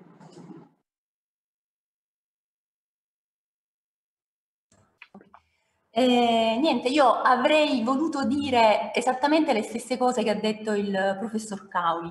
Io credo che questa emergenza abbia fatto emergere in maniera drammatica una serie di problematiche che in realtà c'erano anche prima e che probabilmente sono dovute anche in parte al fatto che tradizionalmente la reumatologia è stata considerata sempre una disciplina di, second, di serie B, diciamo, non ha, non ha, la stessa attrattiva politica di, di altre discipline. Per cui eh, diciamo che eh, con, con, il Covid si, si, è, si, è, si, è, evidenziata in maniera veramente drammatica questa, questa, problematica. La cosa che è emersa, ma che emerge quasi sempre in tutte queste riunioni, è che soprattutto ehm, che, che c'è stata una mancata riforma dei servizi territoriali, dei servizi territoriali che è una cosa che era persistente al Covid, che, era, che è una cosa che era persistente al Covid e quindi sicuramente uno degli aspetti che va, che va potenziato, uno degli aspetti che va potenziato è proprio il, il territorio. Senza una rete, ter senza una rete territoriale eh, opportunamente eh, integrata con gli ospedali, non, eh, il problema non si risolve. Eh, Leonardo Punzi, diciamo che senza una rete integrata con gli ospedali non risolviamo nemmeno il problema Covid o di altre eventuali eh, epidemie o pandemie che ci arriveranno. Quindi diciamo che il Veneto ha retto meglio la prima ondata e sta reggendo bene la seconda grazie proprio alla, alla propria organizzazione. Ma io penso di sì, anche se eh, devo sottolineare integrato con il territorio, quello che ho già detto prima, che quei pochi letti disponibili elettivi per la reumatologia dei centri hub non si devono toccare. Questo è il punto fondamentale perché nel, sul territorio lo specialista è rassicurato dal sapere che... No Antonello, scusa, stavo intervenendo nel webinar. No, no, va bene anche l'uomo. Che può fare eventualmente un ricovero d'urgenza se è disponibile la possibilità nei centri hub. Ecco, questo è, è secondo me, eh, mi sentite? Assolutamente. Ah, okay, okay.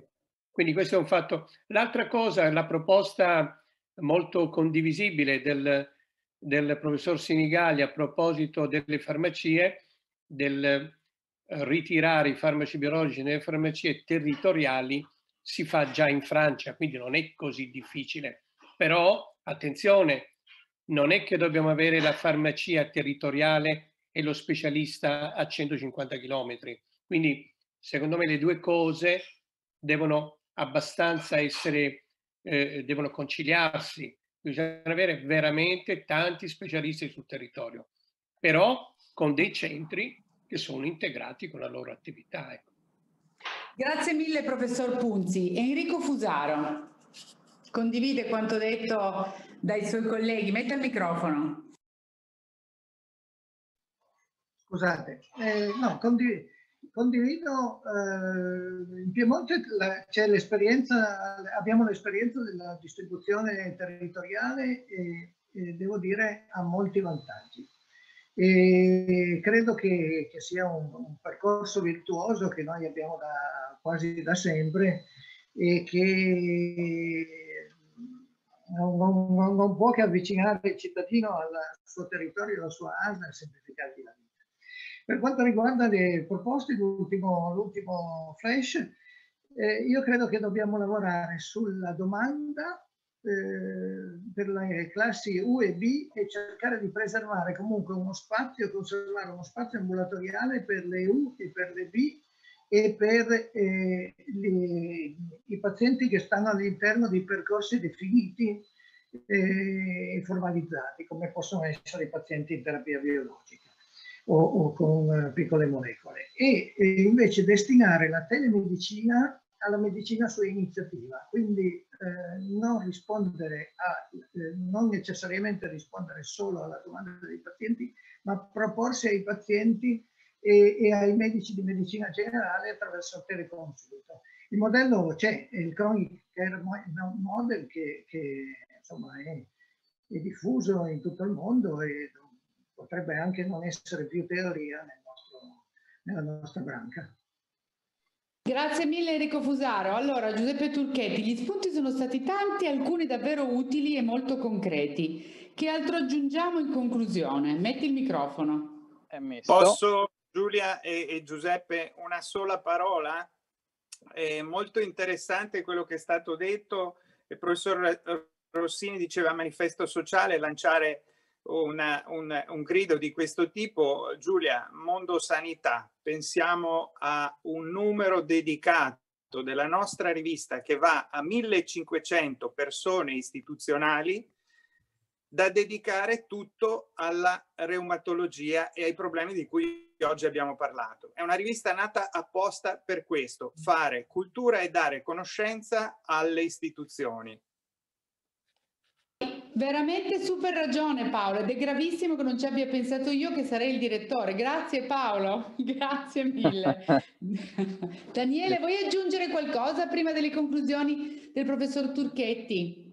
No, no, mi sembra che la sintesi sia questa, più territorio, più telemedicina, più percorsi dedicati e sicuri per avere più diagnosi precoce, ma importante è quello che ha detto Cauli, più informazione per contare di più.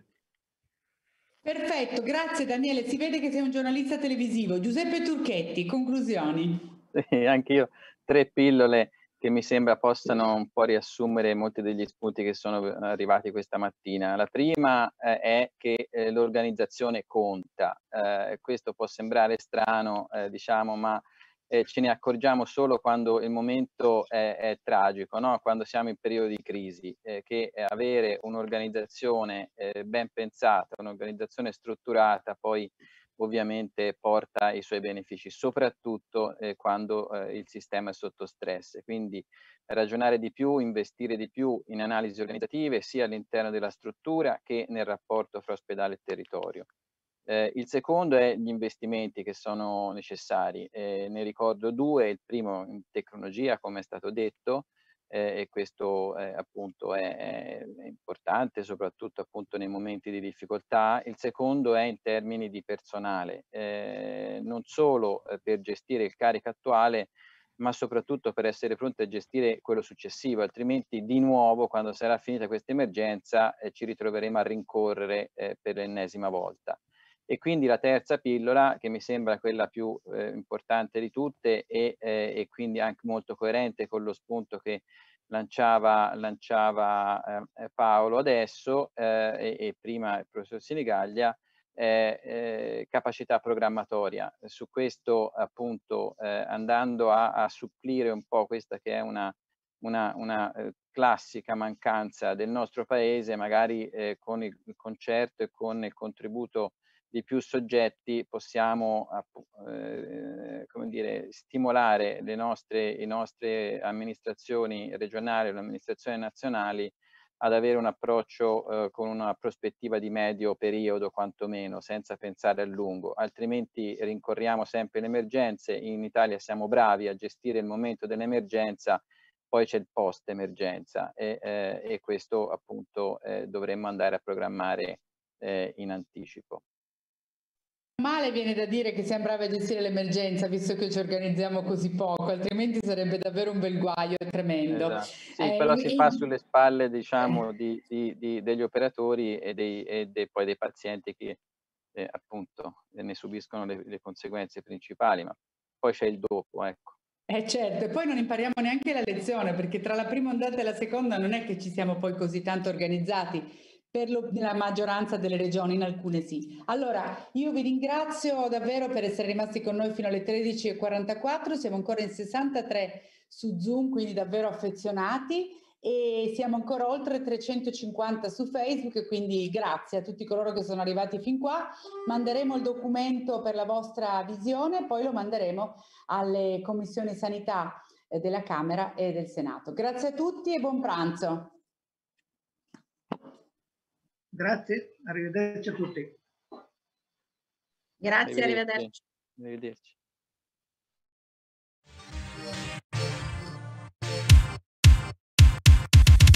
arrivederci.